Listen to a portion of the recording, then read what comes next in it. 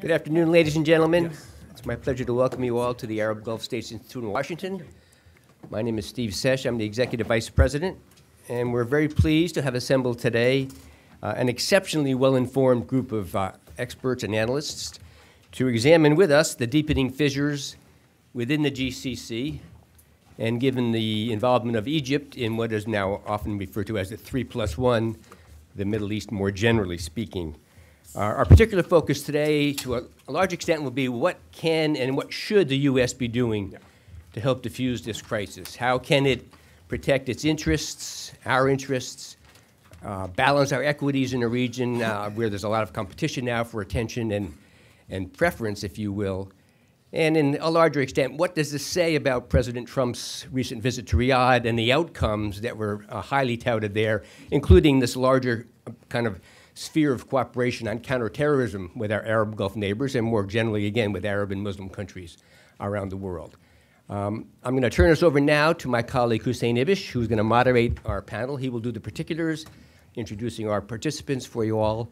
We'll have a discussion and we'll open it up for questions, and we encourage you all to participate uh, with questions to the extent you wish to do so.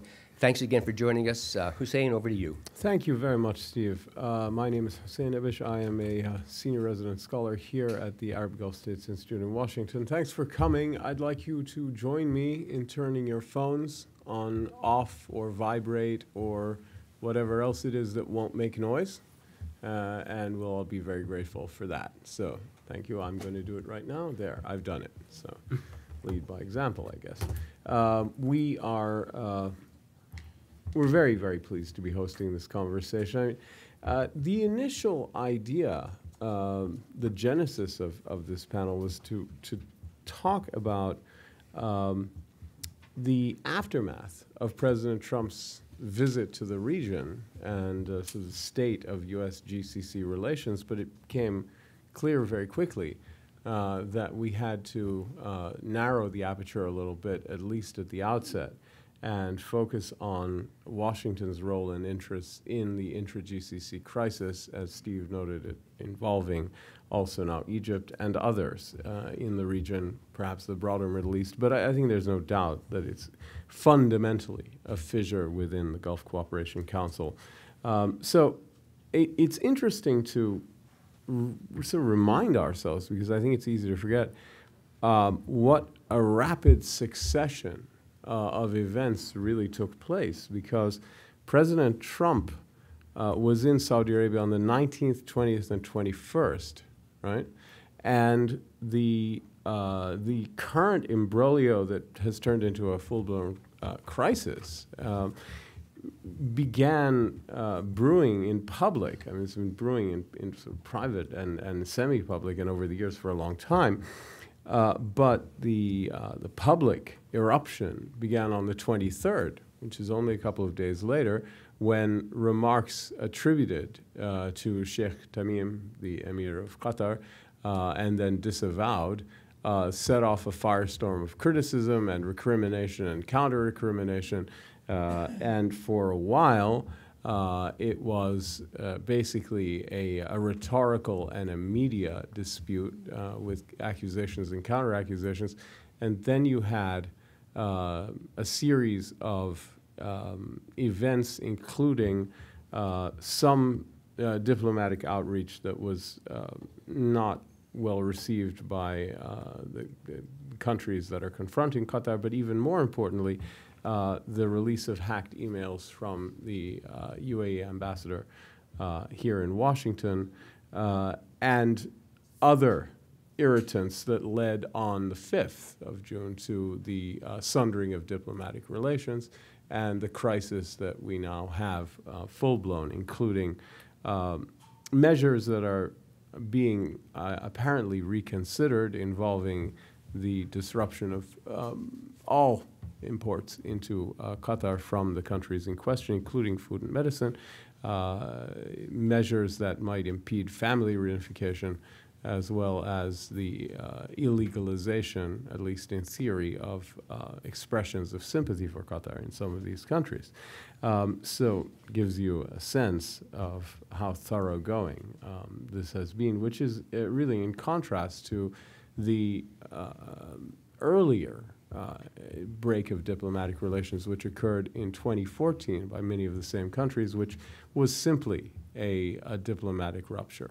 This has obviously gone um, beyond that. And the reason that I lay out the timeline and remind you of the timeline is to underscore how quickly and dramatically this developed and deteriorated, know, to the point that we have now got this uh, really unprecedented confrontation.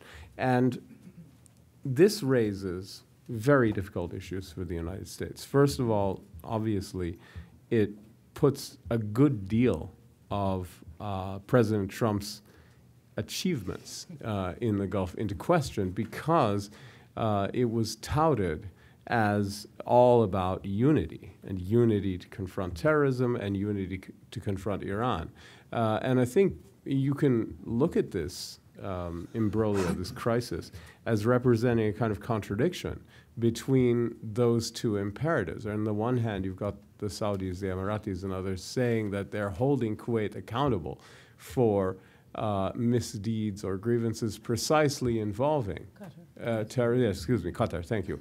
Uh, uh, holding Qatar accountable precisely for misdeeds involving Iran and extremism. But at the same time, clearly, uh, any sense of unity uh, in the Gulf among American allies is, is very greatly undermined. At the same time, uh, the countries confronting Qatar would say what they're looking for is unity worthy of the name. In other words, that the unity that uh, preceded this, and perhaps in a sense then the unity that was being celebrated uh, by President Trump and his administration in the immediate aftermath of his visit, was perhaps, uh, to, uh, if not illusory, uh, at least insufficient uh, for their liking. And I think you could argue both. I mean, for their liking, and now exposed as essentially illusory, precisely because of this rift. So the question then is, what's the American? What are the American interests here? Right. I've started to allude to a few of them, but I think our panelists can really help us. Um, uh, excavate some of those and, and, um, uh, and, and, interrogate them with us. Uh, what's the best American approach to trying to secure those interests, right? In other words, um, do we uh, adopt a position of neutrality? Well, we really haven't. Um, I think it's pretty clear that uh, for all of their tonal differences and the, the sort of manifest, the dif manifest difference in message and messaging, the policy that's being iterated uh, by uh, Secretary of State Tillerson and President Trump are functionally the same, which is everybody else has to go back to the status quo ante, except Qatar, which has to change. I mean, within that framework, there's lots of differences uh, in tone and nuance between Trump and Tillerson, but I think we, you know, what I've just laid out is a, is a, a very uh, important overarching uh, continuity. But will there be incre- as this drags out, will there be increasing pressure on the United States uh, to move to resolve the issue quickly by, by adopting more of a, uh, a model of re- returning everyone to the status quo ante? Uh, or will the United States continue to push for change? And how will it, how will it try to manage this dispute uh, among its allies? So, joining us today uh, to tease all of this apart are, uh, and I'll begin with my immediate left and go down the line, uh, Ellen Laipson, who's Distinguished Fellow and President Emeritus, uh, Emeritus of the Stimson Center, and we're deeply honored to have you. Thank you so much uh, for being here. Uh, Hamad Althunayyan, who's a PhD candidate at the University of Maryland College Park and a, a Kuwaiti expert. Kuwait, uh, as you may know, has had a, a very interesting mediating role um, historically in the GCC in 2014 and again now uh, during this moment, and uh, we'll talk, talk, talk to him about that and other things. Uh, Dave Des Roches, who's a senior military fellow at the uh, Near East and South Asia Center for Security Studies at NDU, uh, down a couple miles uh, towards my house, and all the way at the end, Ali Vaez, who is a senior Iran analyst at the International Crisis Group. So thank you all for coming. Uh, and I guess what I'd like to uh, do is get a sense from all of you very quickly. If you can give us a, a, a two-minute uh, overview, and then we'll get into the specifics of uh, basically what you think, if you could list, say, two or three core uh, American national interests here that override others and, and that are sort of um, uh, that, that are maximal priorities that, that will guide policy. And uh, let's begin with you, uh, Dr. Laipson, please. Well, thanks, Hussein, and I'm delighted to be here. Um, so I think the United States does have a paramount interest in uh, enhancing, enabling the stability of the Gulf, and uh, and bigger than just the a sum of the interests of the individual GCC countries. I think the United States has a sort of larger role to play uh, than that, and I think we're stumbling right now of trying to figure out how to, to move in that direction. You know, many people have said that we care less about energy than we used to because of our own uh, relative and absolute energy, the growing independence, uh, and I welcome what others think of this. I still think the United States has some residual leadership role to hmm. play mm. in uh, stabilizing the world's energy mm -hmm. market, of which the Gulf is not quite as important as it has been in, in the past, but I, I would certainly put that on the list. Mm -hmm. Um, but um, if you'll let me, I, I just want to say yep. one more thing about, you know, that we started out, as you said, the discussion of evaluating the president's visit. And I do think it's important to a little bit just put in perspective that presidential visits are extremely important and they tend to be exaggerated and overanalyzed. Mm. Um, so I'm almost pleased that events have taken us beyond the visit itself uh, because there are these underlying structural factors and these underlying uh, immutable realities of how the United States engages in the Gulf that, in the end, are more important than the visit itself. Yeah. Uh, before before I go on to the next part, let me follow up with you on on one quick thing. Um, it may be complex or not. I mean. Uh, many people have suggested there that, that, the, the visit and the uh, embrace of Saudi Arabia in particular was a proximate cause for um, the, uh, the, the, the, actions towards Qatar. Others have suggested that no, it was brewing for a long time, and that whether the, uh, whether the comments attributed to Sheikh Tamim were accurate or not, apparently not. Um, that, that that was much more of a proximate cause. I mean, how, how do you see the relationship of, of the visit and the apparent policy swing towards Saudi Arabia and this because he was very positive about Qatar as well. I mean, mm -hmm. anyway. So I think even before uh, Trump was elected president, there was a we were entering an era of much greater activism and risk taking mm. by uh, Saudi Arabia and the United Arab Emirates mm -hmm. in mm-hmm. particular. But I think that Trump's persona, the way he connected in a you know whatever, some form of solidarity with the leaders was probably a contributing factor, but mm -hmm. not a mm-hmm. determining factor. That I yep. think he probably um, gave them a little boost of confidence mm -hmm. that their pre-existing proclivities were going to be seen favorably in Washington. Yep. That there would be less undertow that mm, maybe that's not a wise strategy. So I think it was contributing but not determining factor. Excellent. I think that's exactly right. Let's let's uh, see what uh, Hamad. Thank you, Hussein, and thank you. Uh, I'm happy to be here.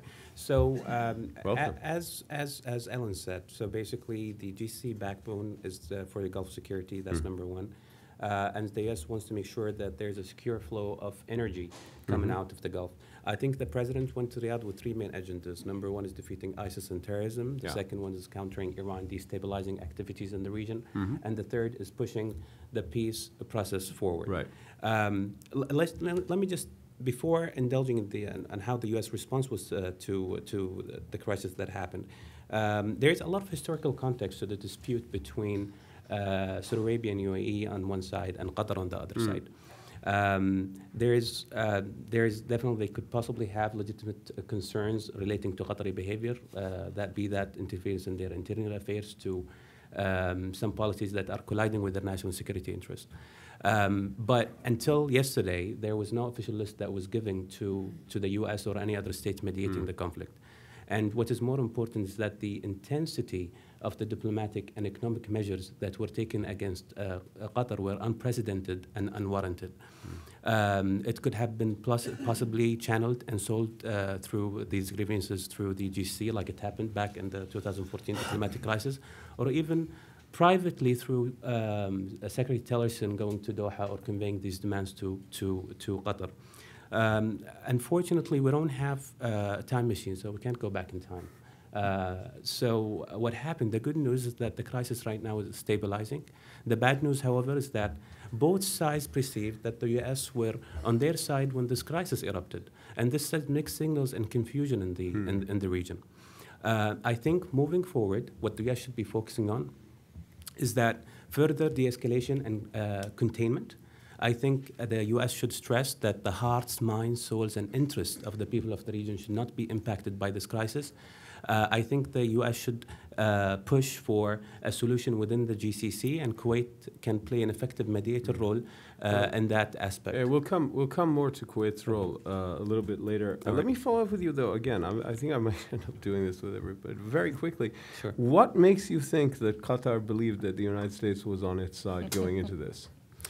So basically, what makes me think is that uh, a lot of Qatari media, as well as some um, Qatari policymakers uh, that I, um, I mean, uh, media and uh, that I saw the statement online, is that they said that um, a statement made by Secretary Tillerson uh, sent a different message than what the president said. after after the event. Uh, Yes, I, I'm yes. sorry. I thought you meant before the the crisis erupted on the 23rd of May. no, no, no. I said after. Oh, Uh, all I right, after right. I see. I yeah. see what you're saying. So look to Tillerson and And Trump's statement, yeah. President Okay, Trump. boy, they read a different statement Yeah. than me, but that's okay. um, so, all right, I, I understand now better. Mm-hmm. Um, let's uh, see what uh, Dave. Can you uh, talk about the two or three crucial things the United States would want to I'll- try to achieve here? I'll try to. I ha- I have to start off by saying my remarks do not reflect Department of Defense Right. policy. Um, And I, I appear to be hallucinating mildly. I, I- I imagine I'm in this alternative world where Phoebe Marr, Tom Lippman, and Susan Ziadeh are listening to me instead of the other way around. But um, uh, the first one is the security infrastructure, the regional security infrastructure, and those are bases. Um, If you want to see what the United States views as the perfect basing solution, I, I look at Britain at the heart of the Cold War, where you had specialized transport base, bomber base, uh, reconnaissance base, fighter base, uh, sea bases, uh, land um, depots. Uh, and that constellation has been built up very patiently, and it requires us to negotiate with multiple countries. We don't want anything that will do that because that's the only way we can project power into the Indian Ocean. This pivot is a mirage. The only thing we've done to implement the You pivot mean, you mean the pivot to Asia? The pivot to Asia, yeah. Yeah. The only thing we have done to implement the pivot is uh, post, you know, is have 1,500 Marines playing volleyball in Darwin, Australia. We haven't built a new base to do that. So our power has to project from the Gulf. The second one is there are common, there are benefits to commonality in confronting our common enemies in the Middle East, particularly Iran. And the most obvious of these is missile defense. And the most effective missile defense, from an engineering standpoint, not a political standpoint, would be a shared network one that involves active cooperation, wired cooperation, in which electrons pass without people interjecting hmm. themselves, without any air, between all the GCC members and the United States. Right now, what we have is a hub and spoke arrangement with the United States at the center and various GCC arrangements. That is dysfunctional from an engineering standpoint. Mm-hmm. And I am a West Pointer, and I got to tell you, it bugs me just as a, you know, to, to see that dysfunction from an engineering standpoint irritates everybody. The third one is not an American uh, interest per se, but it is an overriding bureaucratic one, and that is the need for stability and the avoidance of change. The chaos which we are seeing here is anathema to everybody in the bureaucracy, particularly at this point in time when the administration is so poorly manned. As of Friday, there will only be three officers working Yeah. Gulf Affairs plus Yemen on the joint staff, only three. Um, uh, when it is so undermanned, the bureaucracy typically, even even in times when the manning is fully manned, when it's fat, whenever they're confronted with something, they say we need a point paper on X. They go to the old one and then say what needs to be removed, what needs to be updated. So right now, with the undermanning, the lack of political appointees in place, um, stability assumes a premium, which we haven't seen in my lifetime. And uh, the fact that you have this interrupting that stability or threatening to interrupt it, um, I think is is anathema. And and this desire, this bureaucratic for, desire for stability, I think helps explain what to many people is the most jarring aspect of this, which is the 12 billion dollar F-15 sale announced a week after the president publicly says Qatar needs to be put back in the Yeah, box. well, I'll certainly be raising that with you uh, a little later on. But again, I'm, I've got another a quick follow-up, which is uh, the, the missile, I mean, I understand your frustration about missile defense, but there, it's not as if this um, kerfuffle, I think is the word you use, uh, uh, in the Gulf, uh, has made that any more implausible than it already was, right? I mean, it- there wasn't any political move uh, to make that um, practically, uh, well, practicable. Um, am I wrong about that? You're, you're- you're, not wrong, but, but you're not wholly right. Okay. Um, The, Good. the, the engineering is what drives progress on missile defense. The, the case for it is just unanswerable. Mm-hmm. Yeah. Um, If you're trying to defend Dammam, uh, the best picture, the best cross-section of a missile launched from Iran would be uh, not from Dammam, because then you only get the frontal. It would be from Qatar, where you can get a side angle, you get a broader radar cross-section. And the engineering was, I believe, driving people towards that conclusion. The politics are interfering with the engineering. And uh, uh, inevitably, the engineering will win. Yeah. But inevitably, we're all dead. So, uh, you know, I- hopefully, we'll be able to accomplish this before that. Uh, thank you. Uh, Ali? Uh, Hussein, first of all, thank you for inviting me. It's a great pleasure to be Oh, here. Thank you. Um, and since colleagues covered other aspects of U.S. policy, let me just focus on the containing uh, the Iran piece, uh, which um, which in itself is not a new policy. I mean, this is as old as the Islamic Republic almost. Uh, And I would argue it's a policy that uh, has not worked because if it had worked, we would not have been worried about Iran's influence four decades after the revolution. Uh, and has always resulted in unintended consequences. I mean, take uh, the war with Iraq, which was supposed to be supposed to nip the revolution in the bud, right? Uh, it, in fact, consolidated the revolution. Uh, and I would argue, uh, you know, you trace it all the way uh, to uh, the first Gulf War and then the second Gulf War and the invasion of Afghanistan. It has continuously uh, increased Iran's influence in its neighborhood. Um, and uh, I'm afraid the trip has also uh, deepened Iran's concerns about a new push for uh, containing it, which has made Iran even more aggressive than it appeared or it really was in practice before. Uh, I mean, this is the first time Iran has used its missiles, not as a, as a test uh, after the Iran Iraq war, but in operations. Um, and what's not clear about uh, the Trump administration's policy of containing Iran is the end objective. Contain Iran to what purpose? To totally eliminate it from the region? Well, that's fanciful and not possible, obviously. But, but what, what is the end objective? And I think the answer to that question is not clear, and this is part of the reason uh, that uh, the policy is likely to count, be counterproductive. Hmm. Let me ask you this quickly. Uh, is, is Iran a net beneficiary, from your point of view, of what's been happening uh, in the past few weeks? Uh, I mean, the, the uh, sort of uh, the instinctive answer is say for sure. How could they not be? Uh, but I my, my guess is it's more complicated than that. But can you talk about the, the impact of this on Iran's um, you know, immediate interests?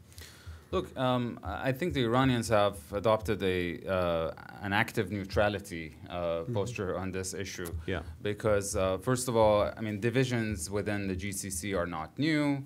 Um, obviously, they would prefer a divided GCC rather than a united GCC. Uh, and uh, you know, I think they're following Napoleon's advice that why why interfere when your enemy is making a mistake. Um, uh, you know, and at the same time, I think they have no illusions about the fact that at the end of the day, Qatar is not going to, uh, you know, uh, leave the GCC orbit and join the Iranian alliance.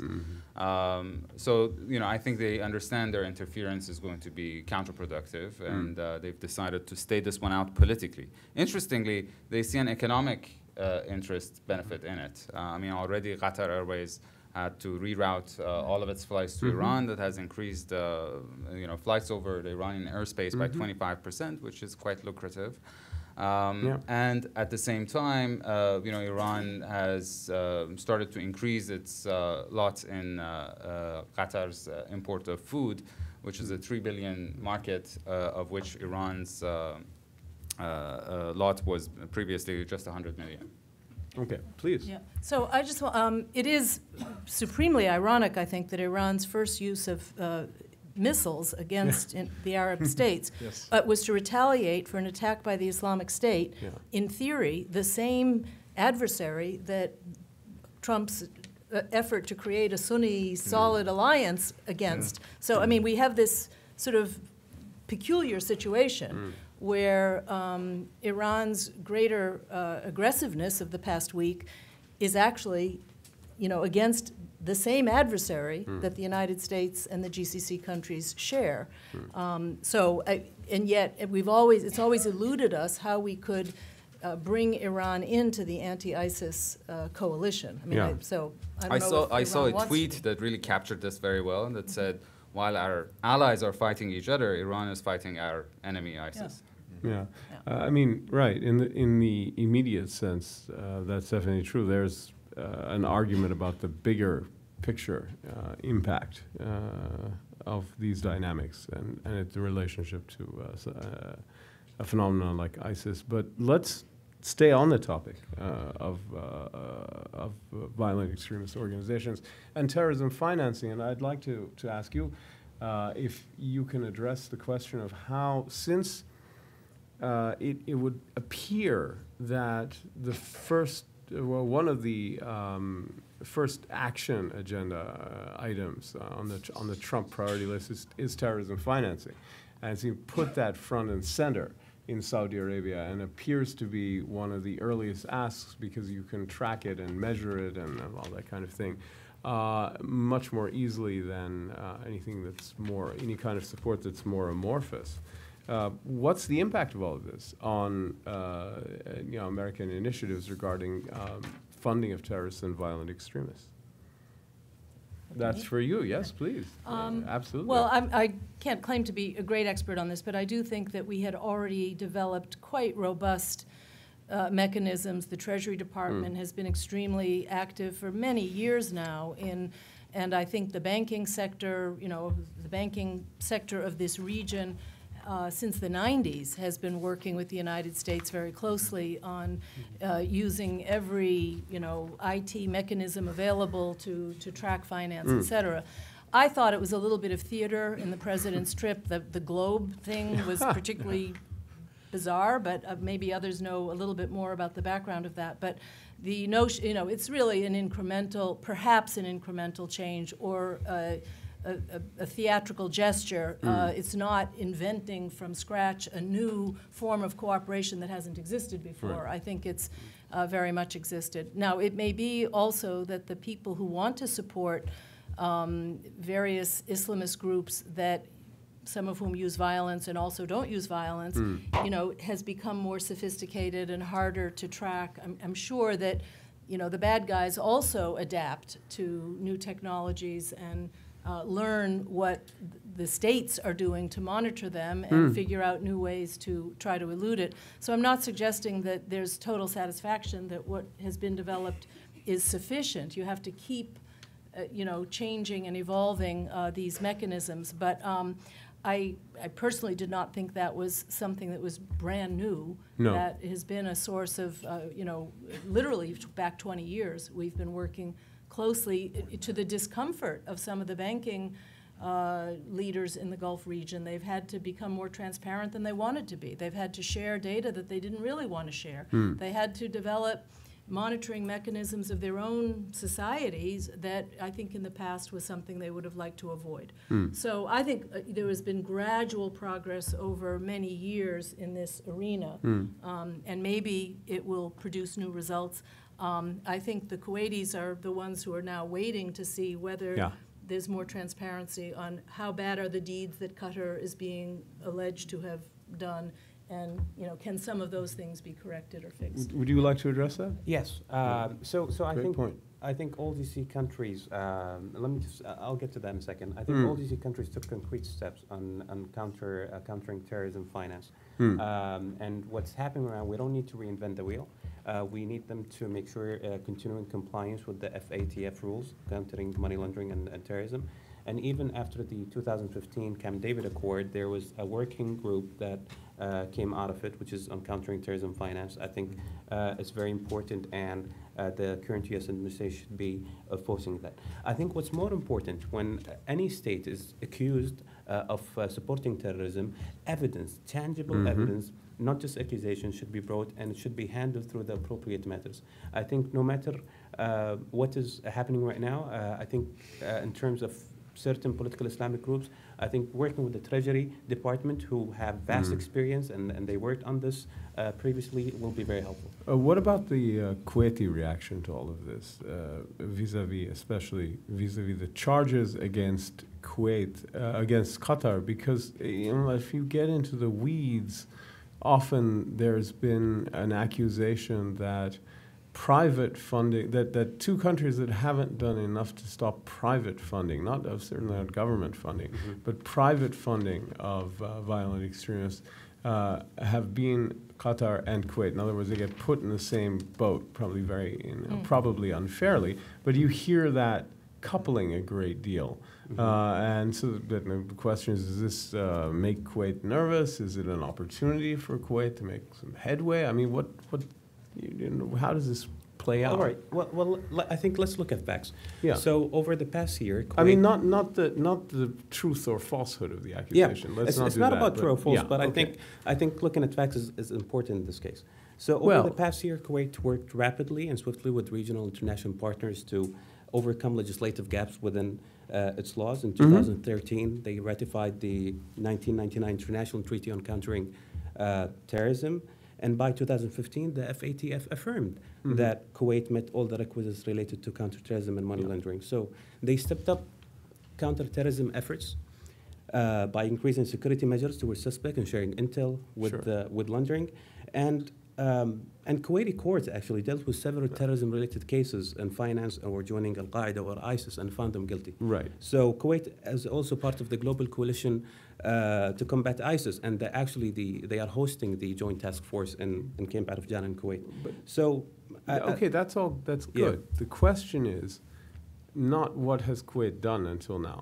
That's that's helpful to. I mean, sort of a lot of us knew that kind of stuff, and there's no doubt. And you Mhm. go into much more details about what's been done. And I think I think both Kuwait and Qatar have a long list of real things that they can point to that they've done. The question is. Is this a, an op, a ch- more of a challenge than an opportunity, or is it a challenge to Kuwait? Is it an opportunity for Kuwait? Is it both? Uh, you know, just in terms of, of this long-standing uh, sort of um, diplomatic and uh, public relations problem Mhm. that Kuwait has had, uh, that has shared in a way with Qatar, you Well, although the, the experiences are very, very different. Yes, well, uh, well, well. First, first of all, I think Kuwait been working very uh, strongly with this, uh, with the U.S. and its Mhm. regional allies to, to work on this, and Kuwait will always be Sure. happy to to take further actions. There's no doubt. Uh, I think what's happening right now with Qatar, it has less and less to do with terrorism. Mhm. If you want me to be convinced that Qatar is a sponsor of terrorism, Mm. first of all, you don't um, accuse it of terrorism at the highest level, then three days later sell them F-15s. I mean, that's a joke. Mhm. The second thing, you don't buy Qatari gas, then accuse them of terrorism. I mean, that's another thing that should be concerned. Uh, so I think when it comes when it comes to Kuwait, uh, Mm. they they took a lot of efforts, and they will continue to take efforts, of course, and, and dealing with the with the with the U.S. on that front.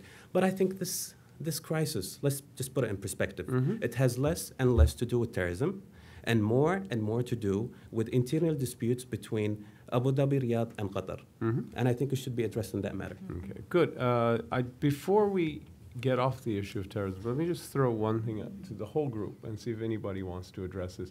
Because underneath this, the accusations of terrorism financing is a reality that there's no consistent definition not only of what is terrorism but who is a terrorist, and not just in terms of uh, uh, you know specifics that can be applied across the board, but even specific group. Yeah, uh, just let me give examples just for a second. I mean, a big dispute about the Muslim Brotherhood uh, as, a, as an umbrella organization.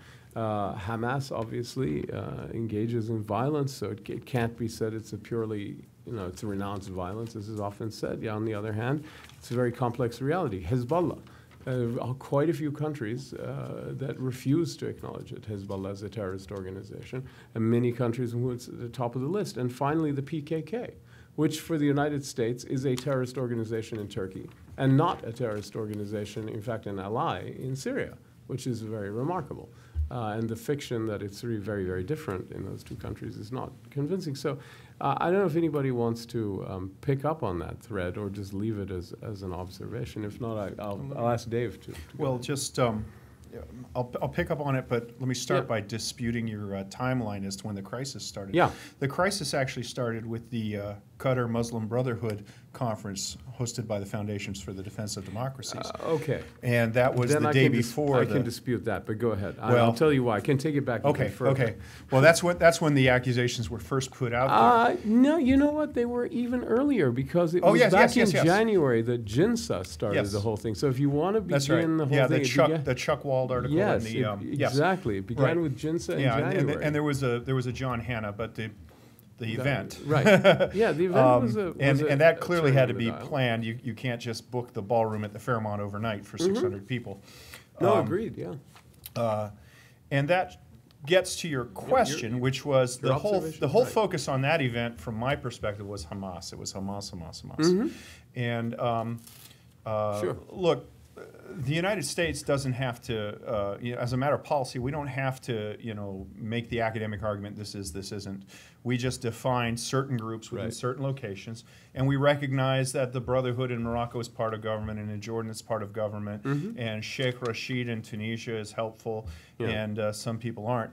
And then we set out the barriers there, and f- from strictly from a self-interested point of view, as a, as a somewhat chauvinistic American, um, this is an opportunity for us because uh, our partners in the Gulf, Saudi Arabia and the UAE, have set out a standard. Yeah. And now we can hold everyone to that standard. And the standard isn't an academic one, it's a policy one that we formulate. So so I, I point. think this is a this is an opportunity for us and I think it's one that we should seize and uh, never never let people uh, forget this new Right. standard. Grab this opportunity. That's very good advice. Let me follow up with you then uh, on a, on a different topic because I think we've we've done the terrorism part quite thoroughly.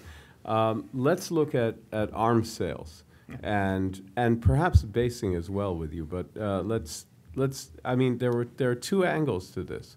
One is the package of arms sales that uh, Saudi Arabia and the United States reported that were reported on differently by the White House and the Pentagon, right? I mean, different Yes. numbers. And you wrote quite a, an outstanding analysis, early analysis. Others piled on with similar pieces that weren't as good later on. Uh, but I think you, you wrote a kind of definitive early um, balloon puncturing piece about it. Um, and then there's the uh, F-15 uh, sales that went through, plus the uh, U.S. Qatar naval um, exercises that went ahead. So if you can uh, talk about the politics of arms sales, for say in both contexts, with, with the Saudis in Riyadh, uh, but some, of, uh, you know, big chunk of which are real, right? And um, with the Qataris in the middle of this imbroglio. Yeah. And then we'll talk about basing after that. Thank you. Okay, so, so with arms sales, um, uh, let me, let me, the facts on the Trump arms sales, at the time that the package was announced as $350 million. Yeah. Uh, or billion dollars. $240 billion of that, I don't know what it is. I think it's, it, it is anticipated upgrades, Mm-hmm. um, things down the road. And that's not necessarily unreasonable, but it's nothing that can be documented in any research that anybody's produced. Mm-hmm. Right. Um, 23 billion, roughly, uh, had already uh, been through the congressional notification process. which Under you- Obama. Yes, sir. Yeah. Well, no, no. There was there was a half a billion dollar program that had been notified under Trump for tethered aerostats. Mm-hmm. So that leaves you uh, roughly 80 billion of weapons that the administration says we intend to work with Congress to get this for you. Much of this will be uncontroversial. Right. Um, so they've already notified about $3 billion, things like a blanket training case for the Saudi Air Force, a blanket training case for the Saudi Navy.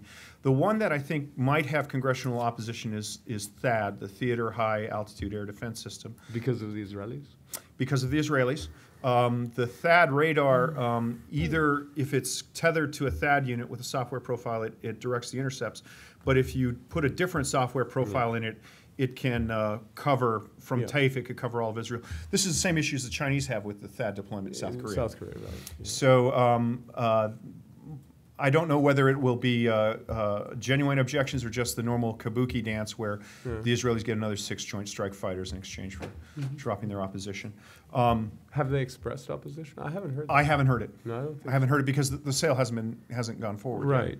Uh, Also, the relationship is a little changed. different now. I'm Yes. not. I'm not sure the Israelis will be bothered by that, but Uh, it- that's we'll right. see. But that's we'll, right. maybe they'll take an opportunity That's to get right. more. Yeah. And, and, and it's important to know this THAAD, this, this is the same number that the U.S. Army has.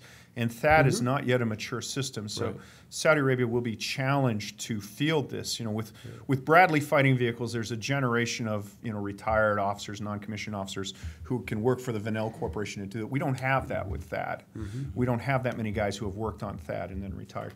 Um, the Qatari sale was notified, the F-15 sale was notified in November, Mm-hmm. and I'm sure the naval exercise was advan- was planned in advance as well. Right. Um, what this shows to me, I think, is is the fallacy, and, and people in Washington have been looking for a way to link weapons sales to policy goals. And what they want is Mm-hmm. they want the web, the military to military relationship to be like a thermostat where you can send a message. You can change the temperature from 96 degrees to 95 degrees by hol- you know finding one key thing, you know, spare parts for TOW missiles, and then they'll get this. And the problem is, I'm convinced uh, after studying this, fighting over it at Brookings and all that, it's a binary relationship. It's either good or it's bad.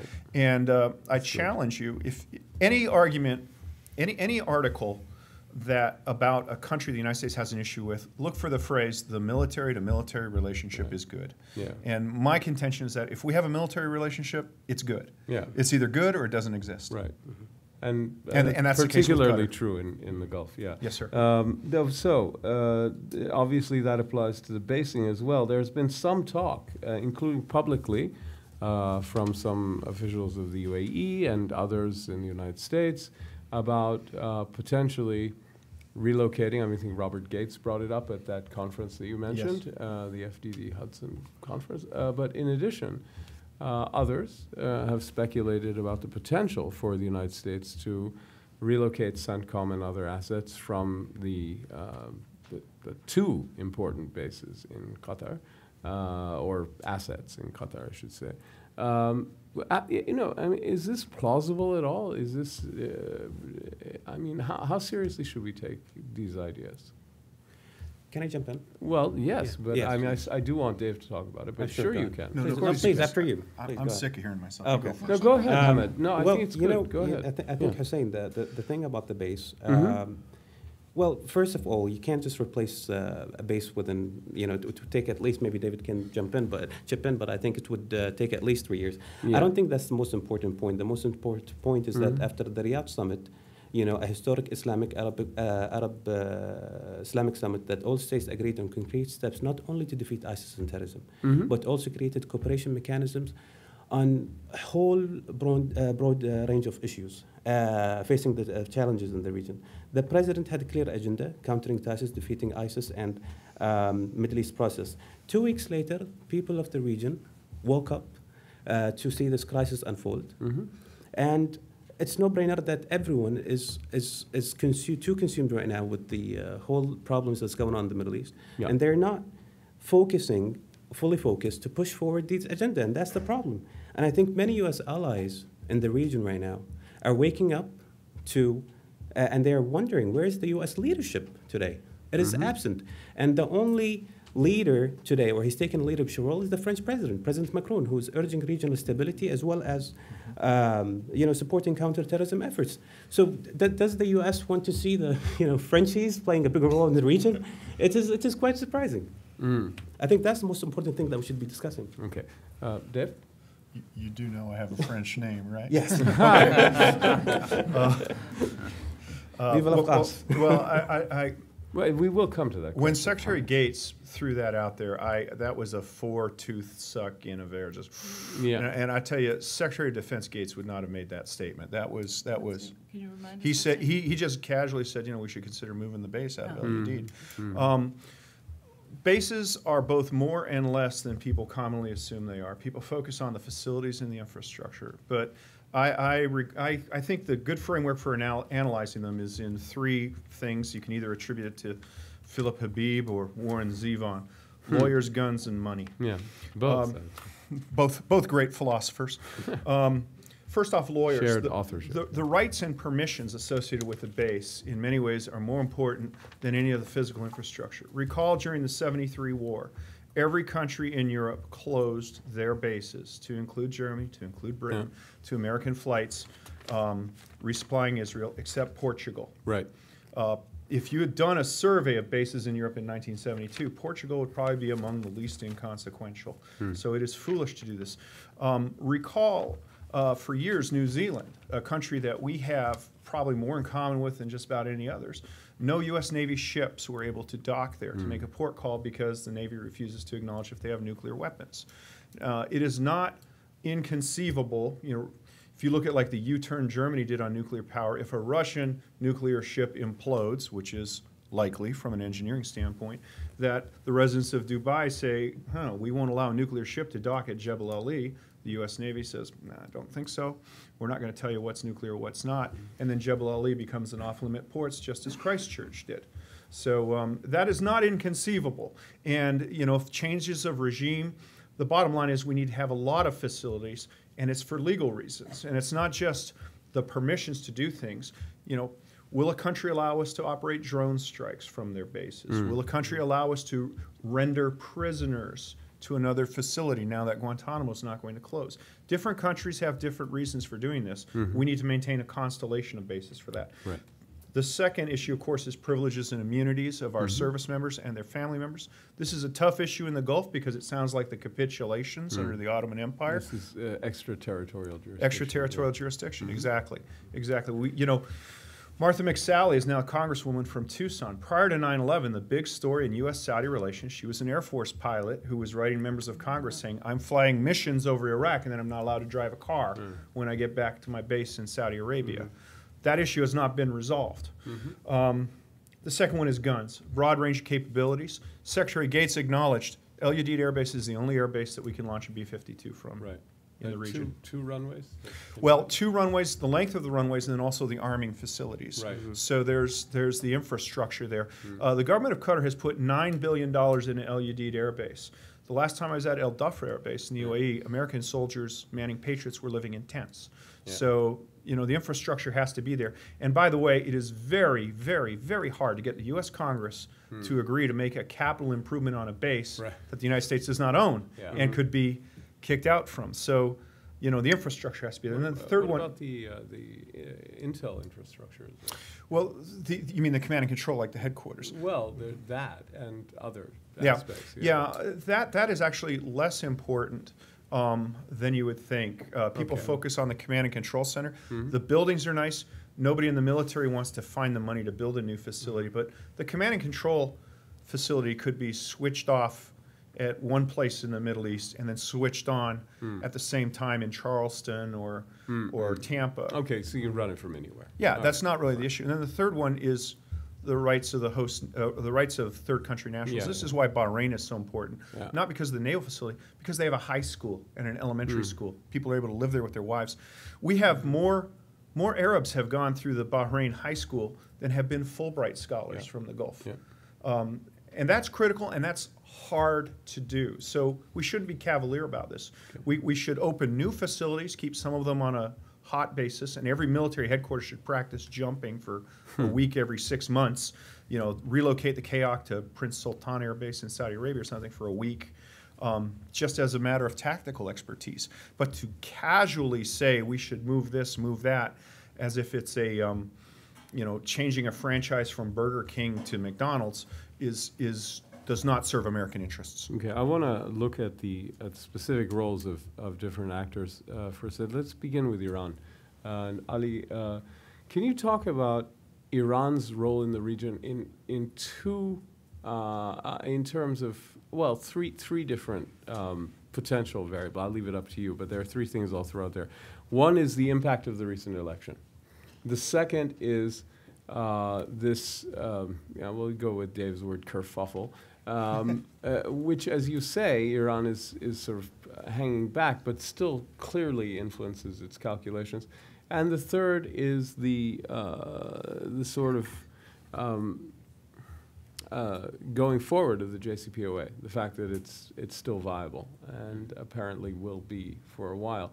Um, so, where is Iran right now? Give us a quick overview with those three um, touchstones as potential um, guides for your remark. But you know, you can say whatever you want, obviously.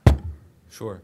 Um, look, I'll start with um, talking about the sources of Iranian conduct. I put it in the context of arms sales that we were just talking about. Mm.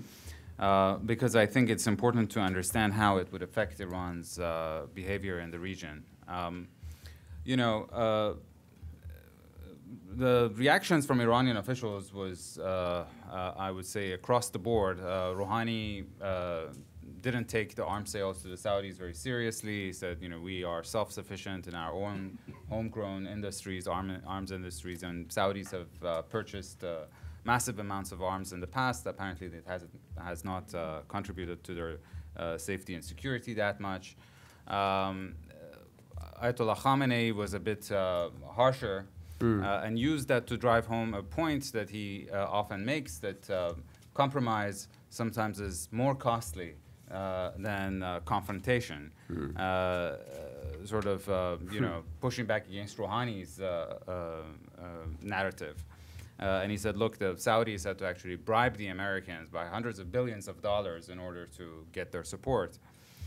Um, but overall, if you put this in the larger picture, uh, one has to understand that if you're sitting in Tehran and you're in the shoes of, a, of an Iranian leader and you're looking around, obviously you feel that you're surrounded by U.S. forces. Every day you look uh, south of your uh, shores and you see 40,000 uh, strong armada in the Persian mm. Gulf, right? Um, from a conventional military capability, uh, you're inferior to some of the much smaller countries in your neighborhood. I mean, compare UAE's Air Force to Iranian Air Force, which is a flying museum. Um, uh, you know, and you're not part of a security architecture the same way that Turkey is, for example, or so. uh, uh that uh, GCC countries are, or have the support of a guarantor. Uh, so what the Iranians have produced in the past three decades is an asymmetric means of defense. Mm -hmm crown jewel of that in terms of conventional military capability, of course, is the ballistic missile program. Mm -hmm. And uh, the second element is what they call a forward defense policy, mm. which is based on this idea of having partners and proxies closer to the borders. So the non-state actors. Exactly, yeah. so that you can deter them. Yeah. That's why the relationship with Hezbollah is so strategic and vital for mm -hmm. the. Iranians. Yeah. Right? So yeah. if now, if you look, take a look at that context and then put it in, uh, you know, add the element of uh, almost blindly supporting the Sa Saudi narrative uh, about Iran's regional role and you selling mean, them you mean the Americans, Americans, oh, yeah, and then okay. Uh, selling them hundreds of billions, uh, um, billion dollars of arms, you realize that it will only push the Iranians to double down on the two elements of uh, their, their um, defensive okay. policy that I mentioned uh, which is bound to exacerbate tensions in the region. Mm -hmm. Look, in terms of the elections, uh, sometimes when you think about Iran, you have to have two contradictory ideas in mind at the same time. Mm -hmm. It has strengthened President Rouhani because he got a stronger mandate. He this time got 24, 24 million votes, uh, much better margin of victory than uh, his, uh, uh, his allies uh, or himself expected. Um, but at the same time, the, the electoral campaign was so bitter. Mm -hmm. uh, and in it, he used such a rhetoric against the IRGC, for example, mm. that uh, there's a lot of bad blood there, and he has to tread carefully.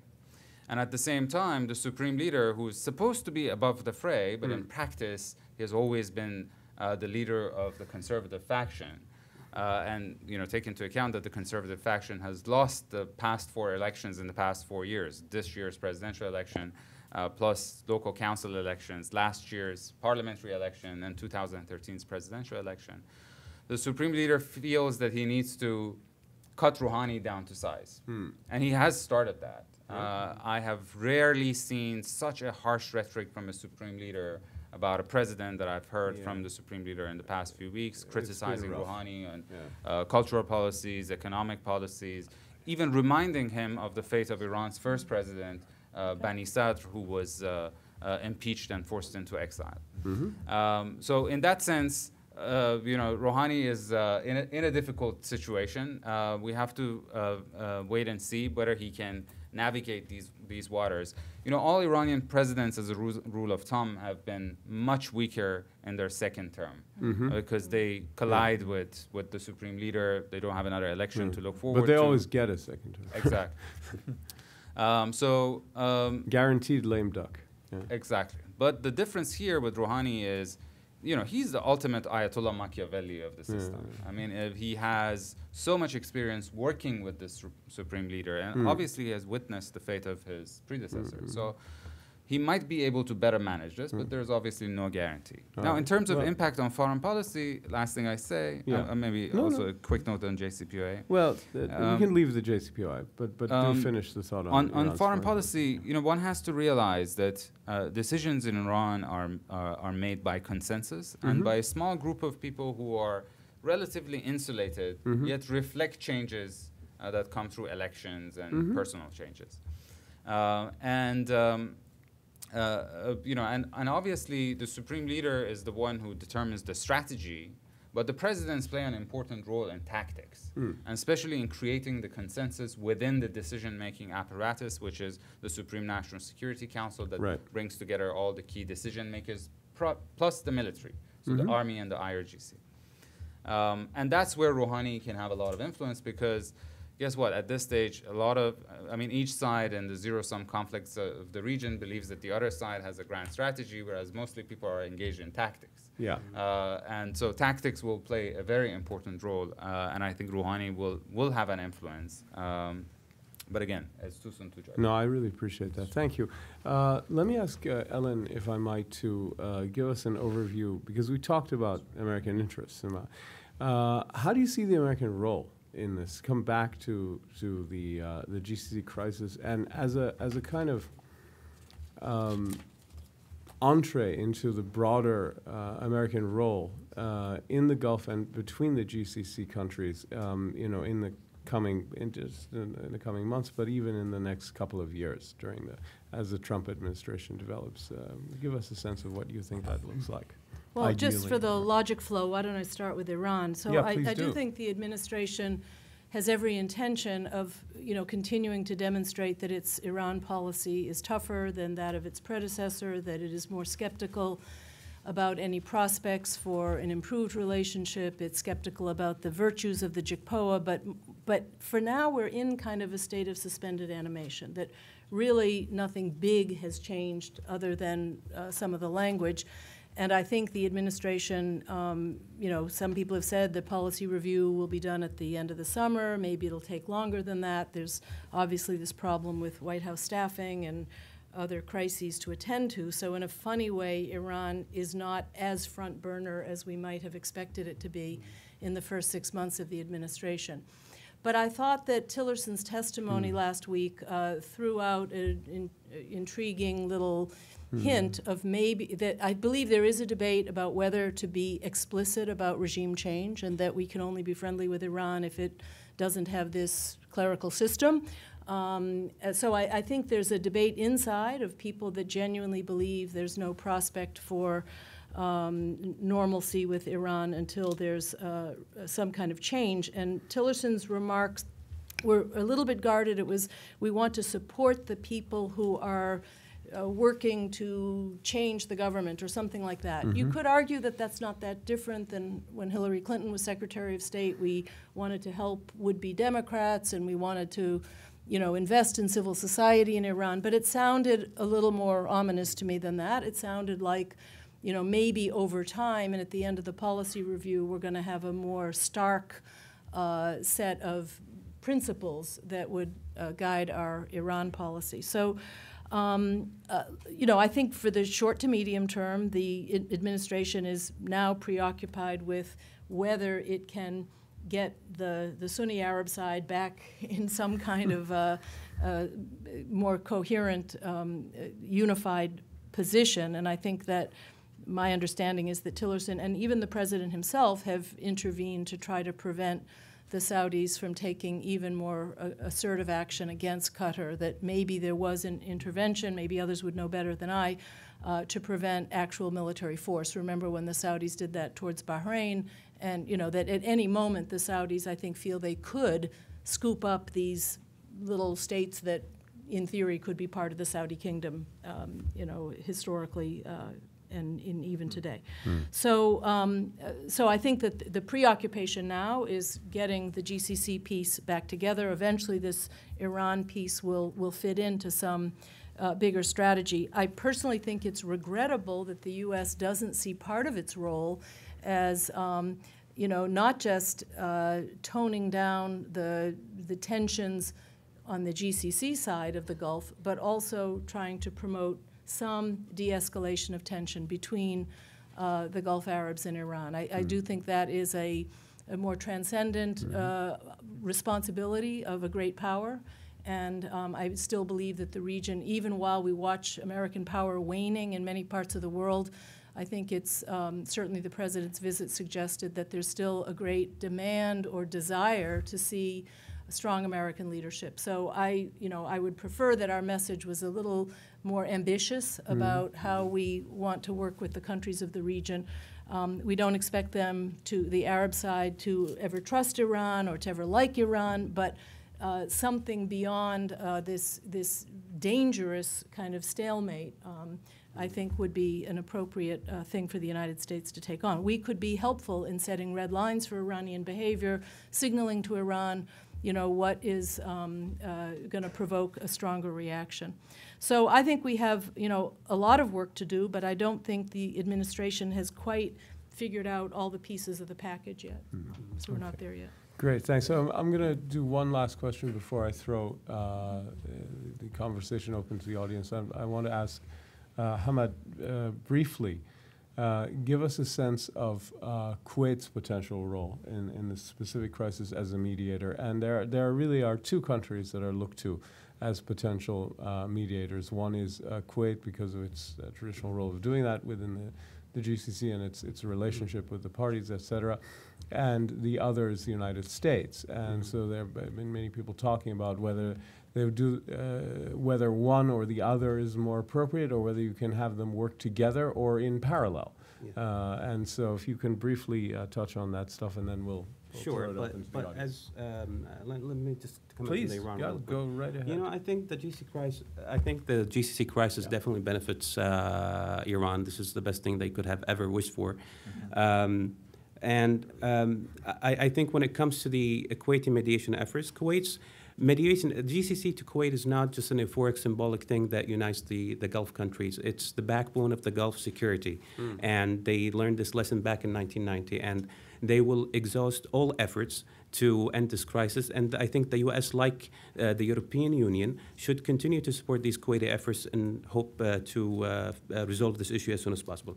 I think, however, first and foremost, the U.S. should project leadership.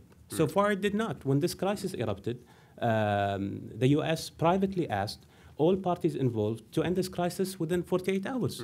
Nothing significant happened, and it ref- reflects Borea's leadership. I think what happened over the past couple of weeks is a case study by itself where the Trump administration should make sure that they do not replicate and, and resolve as soon as possible.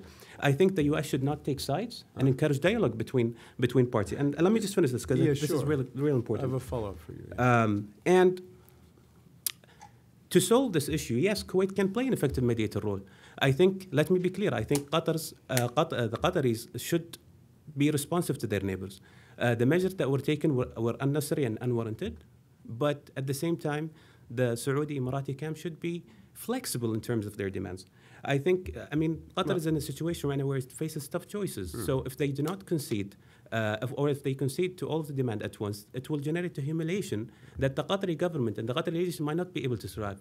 Now, if they do not address the, uh, the concerns of their neighbors, I think it will also have repercussion. It will isolate uh, Qatar geographically, and over time, it might put tremendous geopolitical pressure on, uh, on the Qatari leadership. So I think it is very possible and it's achievable to for both sides to reach uh, can and should reach a compromise in the middle, and it can be implemented over a period of 12 months to save face on both sides, and later on, a GC ally or more can guarantee the implementation process by forming what could possibly be GCC plus one, two, or even three. It could be the U.S., England, or France, or one or two of uh, these countries. An interesting vision for sure. The quest, the quick follow-up, and this, you know, you know, just one or two sentences. Does Kuwait, if, does Kuwait need that Amer- missing American leadership you referred to hmm. in order to be an effective mediator? Well, I think, as I said earlier, uh, Hussein, the problem when both sides perceive the U.S. to be on their sides, we need that U.S. leadership in order to present to both sides that we're not taking sides and we encourage dialogue. So I'll, And- I'll take that as a yes. Yes. Okay, I'll take that as a yes. Uh, we'll uh, uh, solicit questions from the audience. Uh, we'll begin with the gentleman back there, and then another gentleman back here. David, uh, we'll begin with, with you, sir. Yeah. Uh, can you? Uh, there's a microphone. Sorry. Uh, we got. Good afternoon, Tom Lippman, Middle East. Thanks, Tom. Uh, I want to warn you, I've already asked this question a few more. Okay. I read a brief news item over the weekend saying that Prime Minister Abadi of Iraq Mm-hmm. is about to go to Tehran and Riyadh. yeah. And I didn't read any more about it. If that's true, how should we think of that in this context? Good question. Uh, I've heard the same thing. Uh, I, I, I gather it is true. I'm, I, I don't know, but I gather it is. Please. Uh, I think it's good news. Um, I think that we had already uh, been able to nudge a slight improvement in Saudi-Iraqi relations. So the Iraqis have, you know, finally, and it's taken, in my view, way too long, been a little bit accepted back into uh, Arab leadership circles. Um, you know, they've never been in the GCC, so it's always been a little bit as a standalone. But I think Abadi himself uh, sees a role for, for him to play as, a, me- as a, a- another mediator. So I believe he's, I, I think the Kuwaitis and Iraqis Yeah. are probably familiar with The- each other's The problem efforts. is not trusted by, uh, uh, Kuwait is trusted by all parties, and might, that might be the actual X factor there. Yeah.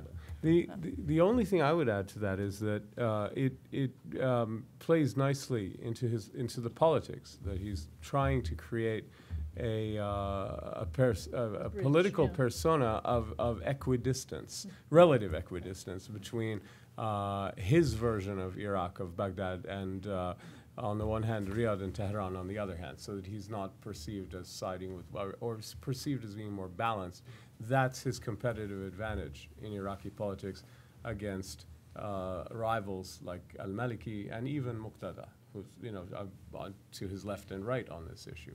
Uh, so I'd say maybe it's as much domestic politics, looking at the next year's election and anything else. Uh, we've got Dave over here. Can when Yeah. we when we come to you, uh, can you identify yourselves Yeah. and Thank you. uh, uh, thank you, and then ask your question. Uh, I'm Dave Pollock from the Washington Thanks for coming, Dave. Thank you. Uh, very interesting discussion. I want to ask specifically about Al Jazeera as a factor in this dispute.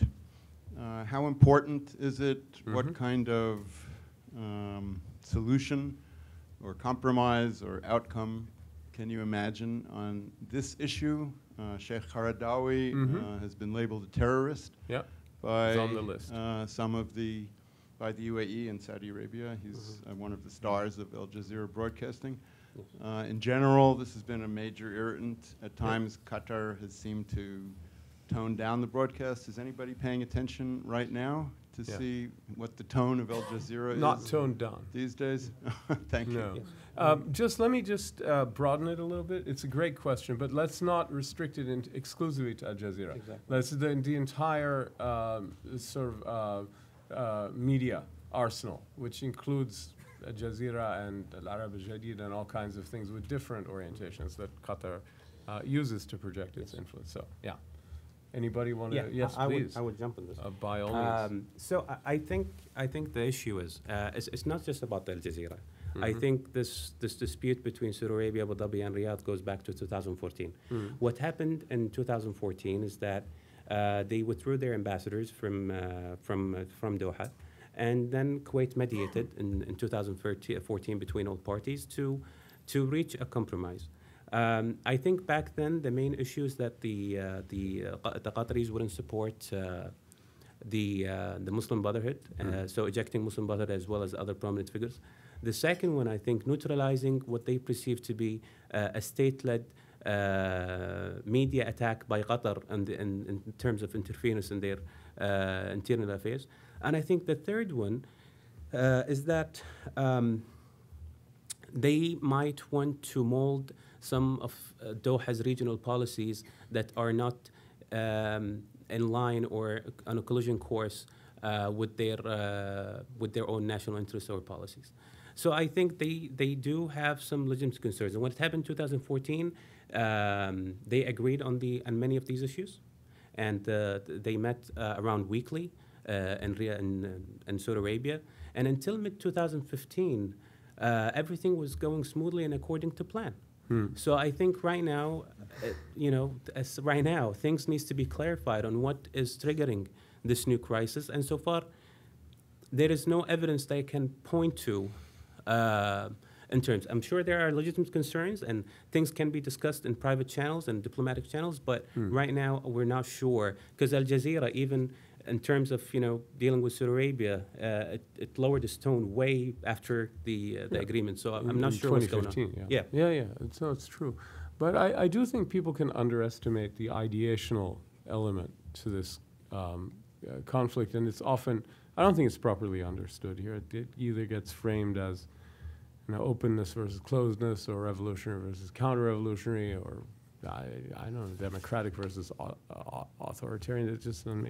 None of it is anything I recognize, uh, but there is a profound ideational dispute between the parties, and it's complex. Uh, so we had you, sir. Yeah, I'm Patrick Theros. I used to be the American ambassador in Qatar, 95 to 98, and I'd like to take this dispute back to my time there. Mm-hmm. February 6, 1996, I was awoken at 4 o'clock in the morning to be informed that a coup had just been averted. Right. 600 muddy tribesmen who had been infiltrated and armed by Saudi Arabia and the Emirates have been brought into Qatar with the express purpose of killing the emir and all his brothers and restoring Sheikh Khalifa to power. The intent there then was regime change. I still believe that there are, as uh, Mr. Thanayan has said, very old dynastic differences between the Al Nahyan, between the Al Saud, the Al Khalifa, and the Al Thanis. Uh, and I believe today very fervently that the only intent of this is regime change, putting a pliant Al Thani in charge and bringing Qatar basically under hegemonic uh, control of Saudi Arabia in the same way as Bahrain is.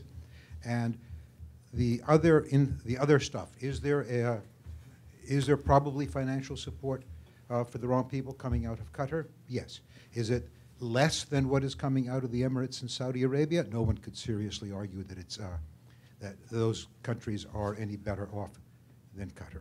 There is a difference on the attitude towards the Muslim Brotherhood. So, my uh, and I'm a little bit surprised from time to time that we gleefully decide that Arab states can't have a free press. Mhm. Okay, so I- I'll take that as a comment. That's because- comment. Okay, okay, fine. The comments are welcome. Uh, The gentleman here, and uh, who's next? Uh, How about, uh, let's see, uh, I've got you all. Uh, The gentleman over here we're going to begin with, and uh, you first, and then we'll go to you. And I'd love to have some comments or questions from some women also, so, but go ahead. Uh, This is not a a men's club. Okay, so right after the embargo, the official statement by Qatar Mhm. didn't include Egypt Yeah. as the one of the countries that uh, embargoed Qatar. Then followed by Jordan, which Mhm. had a partial embargo. Mm. So uh, how do you see the significance of the Jordanian and the Egyptian embargoes in uh, in this situation? Very since interesting. It didn't, you didn't mention that in the in the discussion, and Qatar itself didn't like give it any attention. Uh, This is very interesting. Yeah, what about, what about the regional countries' role? I have, I have some thoughts about Jordan, uh, and, but who would like to, if anybody? Yeah, talk about please Egypt. do. Yeah, absolutely. I, I, I, um, uh, uh, not, not particularly germane to this discussion, but a lot of my Egyptian friends, um, uh, are, are starting to reject this idea. There's, there's this narrative that's starting to take shape that Egypt is servile to Saudi Arabia. Yeah. And they point to this, and more to the point, they, uh, Tiran and Sanafir Islands, which I'm proud to say I was once the commander of. Yeah. Um, with those, um, in my views, those islands have always been Saudi, Yeah. but uh, people with whom I've had friendships for 20 years have gotten really angry over that assertion. So, so um, uh, I, I, I can't speak to the internal politics of Egypt, but, but I think that there is a narrative among certain Egyptians that uh, both the embargo and the transfer of the islands are signs that Egypt is for sale and that a proud nation such as Egypt should be above these sorts of things. I don't think it has anything to do with the merits of the actual case. Of course, the support for the Muslim Brotherhood uh, hangs on there, but, but it's, it's just an, it's a disturbing development. Well, ideologically, it, it certainly makes sense for the current Egyptian government to be part of this. I mean, it's, it dovetails with their Yeah. rhetoric. The- The more interesting case is Jordan, right? Jordan, I would say that the keys, all the attention um, on the uh, question of um, how Qatar survives and, and continues to function has, has focused on uh, Turkey's overt support and perhaps some, some cooperation and offers of help re- and real support and not real support from Iran uh, in the airspace and stuff like that. So it's all been about Turkey and Iran, Turkey and Iran. And for me, I think if you look carefully, say that uh, Qatar's real ability to function in this process comes from continued openness, uh, especially from Kuwait, but also from Jordan. And that as long as Jordan and Kuwait are, are f- open to de- dealing with Qatar on most issues, and they could downgrade. as well. Uh, Sorry? And Oman as well.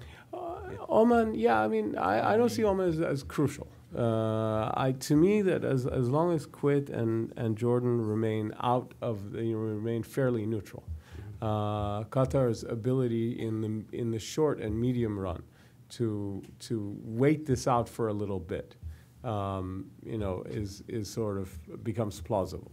Uh, and uh, I'm not saying that means that in the long run they can they can be fine. I don't think they can, but um, but that that's it's very interesting. The Jordanian role is very very complex and interesting. That's all I, I wanted to say about it. We'll go to the gentleman here, and hopefully we have a mix of people. Uh, I'm William Bree from DynCorp International. It's hard for the U.S. to play an effective role uh, when we don't have agreement uh, between the interagency and the president. Have you seen any signs of, uh, of that coming together yet and uh, uh, coming up with a sort of a clear and unified policy so the folks out uh, on the other side of the Atlantic actually know what our position is? Uh, Ellen or Dave would like to uh, address that?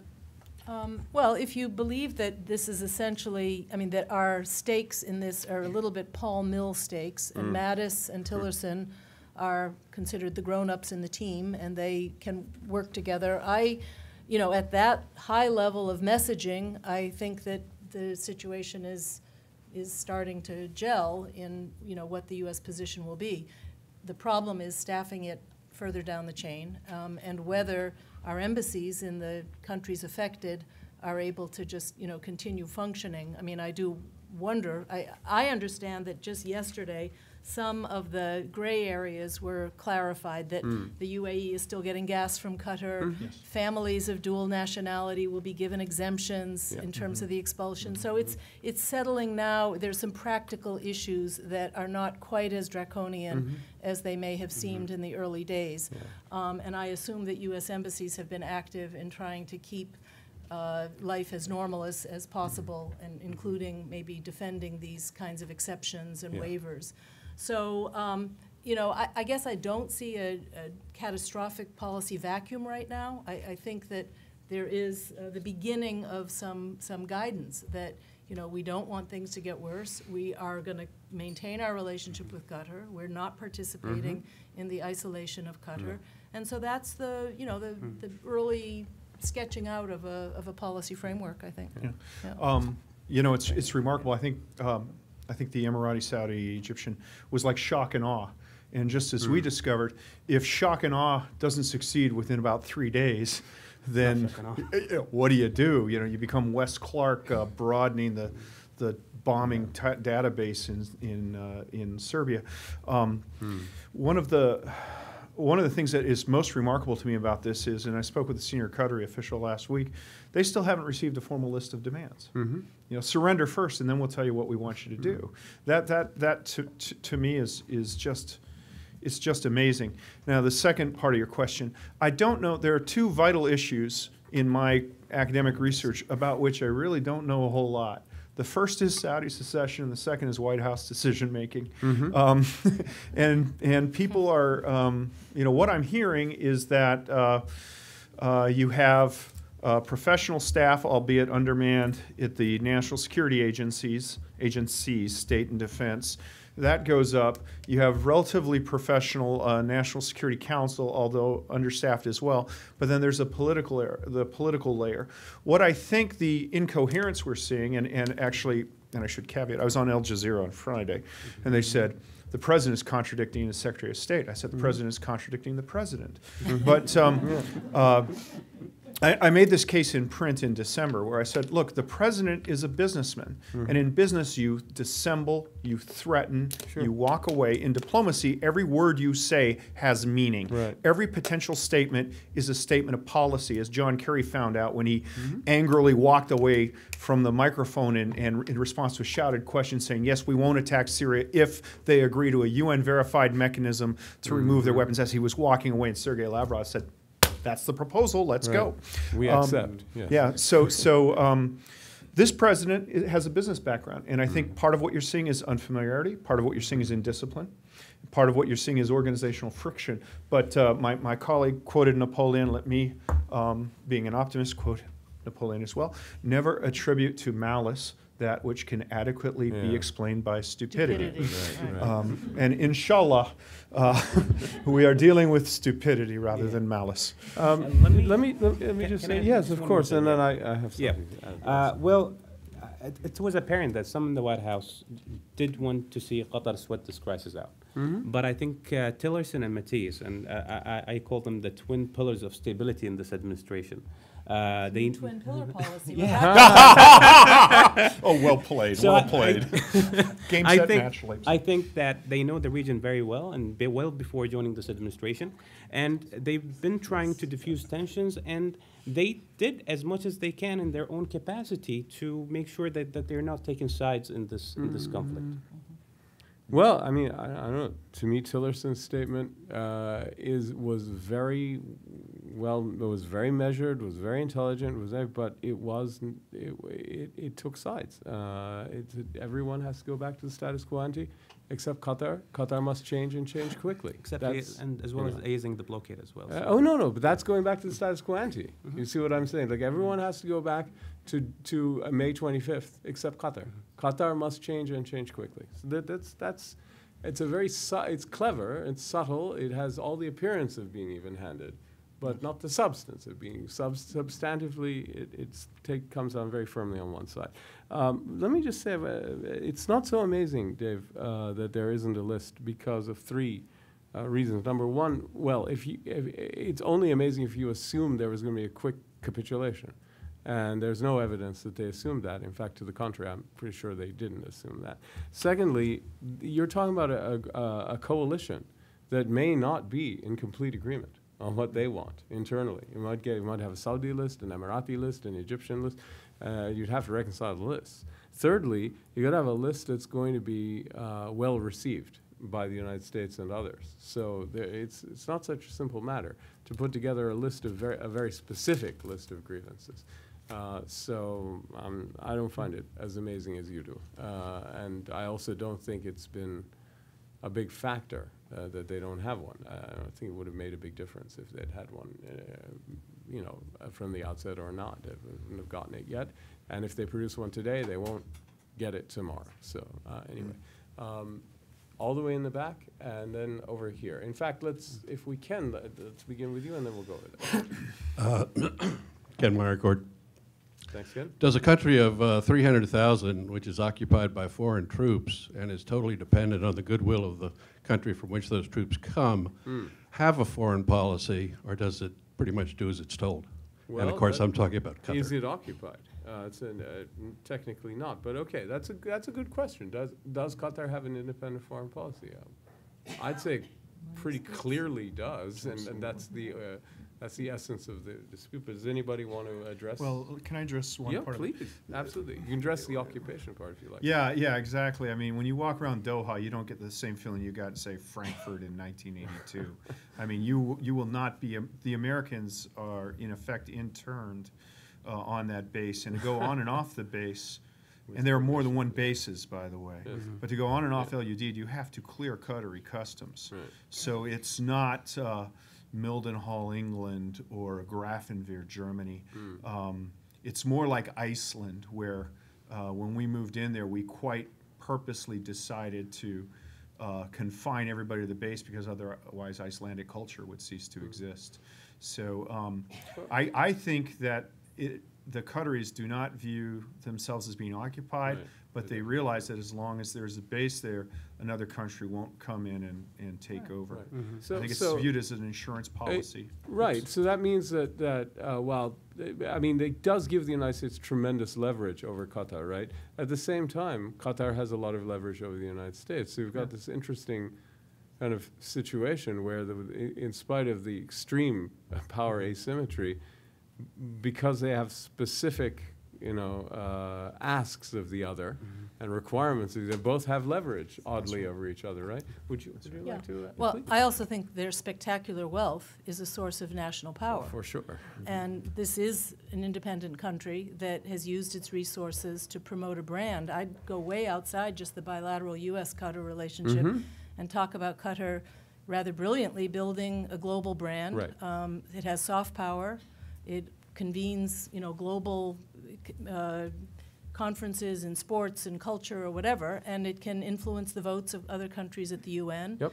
And it also takes Sporting, pride in uh, staking out a political space that is a little different than the more conservative monarchies. Mm-hmm. Um, I recall a visit by Qatar's foreign minister a few years ago, where you know they made the connection that they're slightly they're more whatever you call it open view towards uh, the Muslim Brothers. They aligned that with American values of pluralism and Um. freedom of expression, and you can be very cynical and, and say, you know, you know that doesn't make sense, and, but they they have found ways to promote uh, a, a kind of maverick persona um, Yeah. that makes them a little different than their neighbors. And you know, again, with the the wealth they enjoy, they, that is an attribute of national power, even if their security is very much linked to the security provider that they've uh, they've made a contract with. Yeah, they're, they're not less conservative uh, than their neighbors internally. Uh, Well, they're Wahhabis at home, Right. Yes. So what they are is willing to support groups both on the far right and the far left that are anti-status quo in the region. In other words, Muslim Brothers and left-wing Arab nationalists,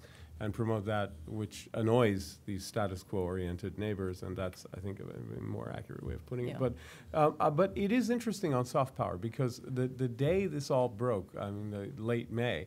Uh, CNN called me up and I was talking to them, and they were sort of telling me, but isn't this Bambi versus Godzilla? I mean, look at how much bigger Saudi Arabia and the UAE are, et cetera. I said, well, at a certain register, yes, until you go to the register of media and soft power, in which case, again, it is Bambi versus Godzilla, but Bambi has become Godzilla. And, you know, certainly, I, I, the, the Saudis and the Emiratis don't have anything in terms of media and soft political uh, punch in the Arab world that really compares with uh, Qatar's arsenal. So it depends, uh, you know, how you look at it, and they're not to be underestimated, as you say. It's a it's a source of tremendous leverage, and it, it cuts against the idea that this is a either a an occupied country without its own policies. Truly, this is not the American approach, right? The, the stuff that is on promoted by Qatar's media empire is not Washington's policies by any means. And secondly, it's not to the liking of its neighbors at all. Uh, as, and it, if there's a single factor that's most responsible, it's probably that. Uh, with the lady back there. Hi, my name is Mara Mordecai. I'm a Can you stand up a little? Sorry. Thank you. Um, my name is Mara Mordecai. I'm a policy intern at the Project on Middle East Democracy. Um, Thanks. I have a question about the role of Turkey, specifically what its motivations and interests are in sort of aligning itself Excellent with Qatar. question. Um, I can, I can uh, answer that. I think, I think uh, the Turkish president uh, was in a situation where he wanted to balance between uh, not sacrificing his relation and uh, economic relations with Saudi Arabia, uh, but at the same time, he did not want to abandon the Qataris who supported him uh, over the past years. So I think they basically what they did, they accelerated the deployment of troops in a separate agreement that was passed uh, past week. Um, and uh, actually, the first Turkish troops, I think, arrived in Qatar uh, a couple of days ago. Um, and First I new ones, yeah. Uh, new ones, yes. Yeah. So I think basically what happened is that he wanted to give the Qataris a chip to bargain, perhaps with Saudi Arabia and UAE, and perhaps even here in, in, in the US. Um, and I think what's really concerning is that why the Qataris, even though that's a sovereign decision, of course, uh, is why the Qataris felt compelled that they needed this move uh, to to be in a better bargaining position. And I think uh, that that's that's a question that should be answered by you know the, the National Security Council here in the U.S. And I think that's the importance of not Mm. taking sides in, uh, in in such disputes. Hmm. Anybody else want to take a shot at that?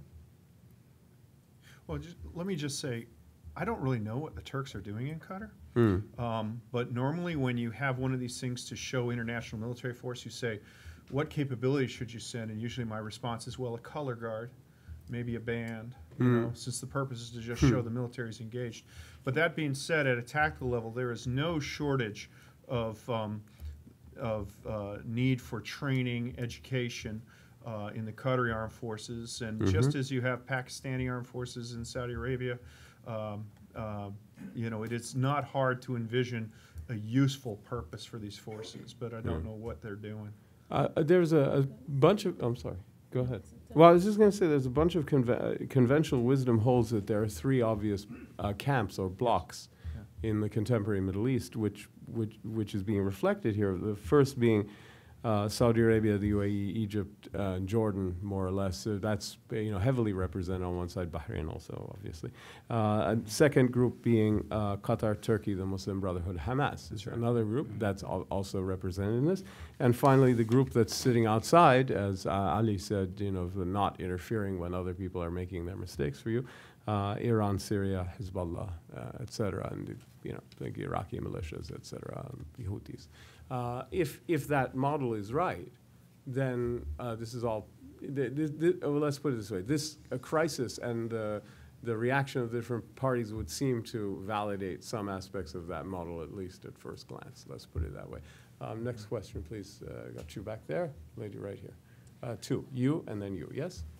Um, hi, I'm Katrina Salome. I'm a research fellow at Georgetown University. My question is all this talk in Washington about the Gulf crisis, what is the blind spot that no one sees? The, the what? The blind spot? The blind spot Ah, that no you. one sees. What's the blind spot? If I knew what it was, it wouldn't Would be be blind. blind. Ah. I can foresee all kinds of unforeseen developments. Yeah. Yeah. I think- don't know. I think um, climate change, to be honest. Ah.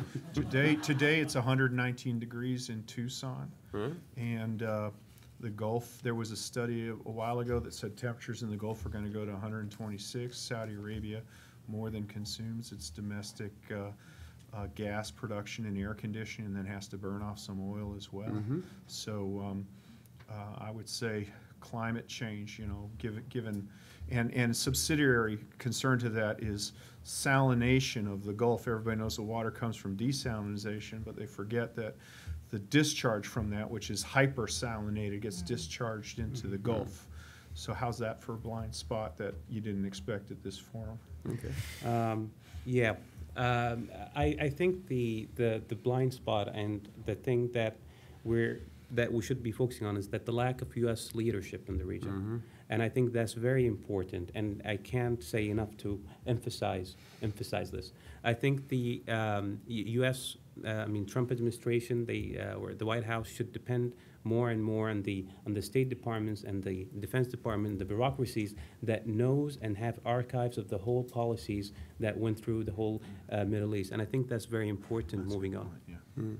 I, I'd say this. I think one thing that's not necessarily a blind spot, but that is being under um, under analyzed, is the the likely two two tracks that uh, this this looks like it'll go on for a while, right? So the, the, in other words, we appear to have reached uh, a stalemate and an impasse that is where, as I, I've argued and I continue to argue, both escalation and quick resolution are unlikely. So it, looks like we're in this for a while. Now, two, two effects will, uh, are likely or can be seen. One is that as this drags on, uh, American frustration and impatience uh, with the impact of this on uh, the, the, ability of the United States to function, the corrosion of its alliance, its, the, the, interference with American military plans, and just this whole desire for unity, uh, which is now being sort of rendered um, you know, greatly undermined, let's put it that way,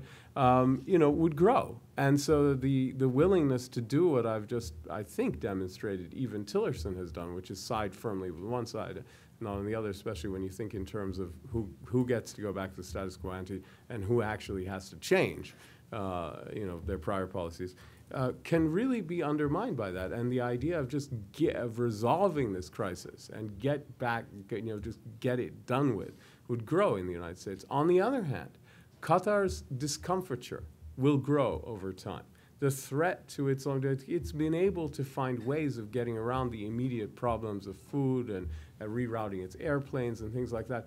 But if this dragged on for, let's say, half a year, a year, I mean, uh, uh, Dr. Gargash, the Minister of State in, in uh, the UAE, has talked about this going on for years. Well, Qatar wants to host the World Cup. It has lots of ambitions that can't really be realized uh, under this kind of isolation. And as it goes on, the pressure, I think, both on the United States because of uh, the erosion of its interests that I'm talking about, and on the Qataris uh, because of the long-term problems that it will pose, which are very different than the immediate, how do we get fill our supermarkets, where do our airplanes fly? Those are immediate problems that are resolvable. There are longer-term problems that kick in. And there, I think you can see the trajectories, and they push in uh, opposite directions. One pushes in the United States, pushing the other states to kind of accept a very minimal gestures from Qatar or something like that and get it done quickly. The other pushes the Qataris to capitulate maybe more than they feel right now that they're willing to do. Madam, can you get a microphone, please? And please ident, yeah, but we need the microphone. Yes, because we're filming and streaming this. So consider the audience. And please identify yourself. Yes, Susan Ziadeh. I'm the former U.S. ambassador to Qatar. Uh, one thing that I would like to raise when the question came about the blind spot, and nobody has talked about that, and that's the people. We've talked about the people in Qatar and, and how much we wonder how much the traffic will bear. I would argue it will, it will bear a lot. Mm-hmm. These, these are pretty stubborn folks, which Yep. is sort of one of their sterling qualities, I think. But I think you need to look at the issue of what's your real center of gravity? How far can Saudi Arabia, the UAE, Bahrain go in terms of where the people are affected or where, what the people think uh, in their countries? You mean domestic public opinion? domestic public opinion. It may not be for love of the Qataris, but Mhm. there is a common bond among GCC families. There are tremendous uh, uh, intermarriages, trade ties, people who own properties between the different countries. Um, you see a lot, a lot of connections where I Mhm. think uh, people will not be so happy. I might also add that if you look at the Arabic uh, Twitter feeds coming Mhm. out of a place like Saudi Arabia, there's a lot of support for something called Hamas out of there, Yeah. uh, which is at variance uh, Mhm. with what the country's official policy is. I mean, rightly or wrongly, I, I'm not taking a position. Oh, I'm sure. merely saying that these countries Oh, will definitely. also have to be thinking about their domestic situation, how much it's affecting their people, where Mhm. they have uh, uh, interests, and how the people react to what their governments are doing on Right. this level. So, uh, for me, uh, the blind spot yeah, could be the people. Yeah, no, that's that's a great comment, and also just just to amplify your point, that's where Qatar's impressive and ample um, uh, public uh, relations and and uh, media power, soft power, becomes very helpful to them. I mean, they in the battle for public opinion throughout the Arab world, they have a vast competitive advantage over the other side. So that in addition, so what about domestic public opinion? S- So, um, I mean, in terms of Qatar internally, their domestic public opinion, in 2000, maybe 14, I was talking with friends who met with a lot of Qataris there, and they said a lot of the Qataris were not in favor of their Qatar's foreign policy back then because they felt they were being kind of isolated. But I think after what happened, this crisis, Hmm. based you know on what you see in social media and, uh, and and interviews with a lot of people, you see some sort of national unity Yeah. today in Qatar. Mhm. Uh, in terms of separating, you know, families from different GC countries, um, uh, I have a Saudi and a Qatari couple who are actually were engaged during the, the crisis, and, and they actually were going to get married uh, just a couple days after the crisis. So now they came to Kuwait. Hmm. To, to get married, and Yeah. we're more than happy to host the lovebirds. Right. uh, so uh, that's what Kuwait is good at, right? Yeah. Kuwait- Kuwait is for lovers. And and New- new slogan. and and Original basically, to you. yeah, in the GCC, right? Yeah. Um, and and and I think, uh, as you said, uh, no matter what the dispute is, by, and the GCC will went through the hardest challenge, and it was the uh, invasion in 1990 of Kuwait, and all of them stood together. Today we face we face a hardest challenge from a different type of form, from internal disputes. This we will. This is this crisis is a diversion from the efforts that we should should be concentrated somewhere else, and the people of the Gulf should not be impacted. And uh, I think it's a very good thing that the so, uh, Saudi Arabia, UAE, as well as Bahrain, they provided um, a, a cell phone or phone phone number to deal with these humanitarian cases. But I think more concentrated effort should isolate the people and their interests and their hearts, minds, and Mm. souls from what's happening uh, in the Gulf. And I, uh, yeah, I totally agree with you. I mean, by the way, you can see that that uh, the uh, countries confronting Qatar uh, are getting uh, very uncomfortable with the food and medicine and family reunification things, and um, they, they move, moving away from it, uh, reassuring everyone they're going to find a solution for it. Uh, especially, I don't know about food, but medicine and family reunification. I, I think. Uh, uh, that's not going to be part of the long-term uh, approach because uh, uh, it's just not politically helpful. I mean, I think that that's been understood that this there needs to be some adjustment on that. Um, I think it's, it's kind of obvious. Um, So we'll- just just a quick uh, Yeah, two finger. on please. this. Yeah, yeah. Remember that in the past three decades of sanctions against Yeah. Iran, food and medicine Never have always yeah. been exempt. Right. Yeah. No, it's it's normal to exempt those things, and in uh, you know, and if, you know, the the initial thought was, well, this is not a siege. I mean, no one's saying you can't, but but practically speaking, it it uh, looks really uh, bad, and I I think it's going to be rethought on that. But I think it already is being rethought on that basis. We've got uh, a bunch of questions. Let's take. Let's take three or four in a row as we go towards wrapping up. So we've got the two, uh, how many back there? One, two, three, and then that will be, and we'll take them all, and then, and we'll, and that'll be the end of it. So you, and then the gentleman, and then the lady here, and that's it. Yeah? Go ahead. Thank you. Um, Elise Goss Alexander. I'm with the U.S. Commission on International Religious Freedom. Yep. Um, I know that in the past, Qatar has made a name for itself as a mediator who will talk with anyone, and we've seen reports over the past week that Qatari um, presence has been withdrawn from certain areas in East Africa, I think Yeah. Eritrea Mhm. and Djibouti. So Mhm. I was wondering if you could speak a little bit about the ways that this crisis might impact those mediation efforts in different um, areas around the world. Thank you. Good, okay, and then we'll, the gentleman here, and then the lady there, and that's it. Yeah. Thank you very much. Uh, Dan Lieberman, I have never been an ambassador to Qatar. Ha! That's fine. But uh, You're welcome. In line with the, the friction between uh, Saudi Arabia and Iran, uh, the enemy of my enemy is also my friend. It seems that uh, Saudi Arabia is trying to uh, make some rapprochement with Israel. Uh, there's been talk about that. Doesn't Mhm. seem possible, but that's been making headlines. I wonder if you had any opinion on that. Okay, good. And then we have the lady here, and then we'll look at all these questions, and then we'll wrap up.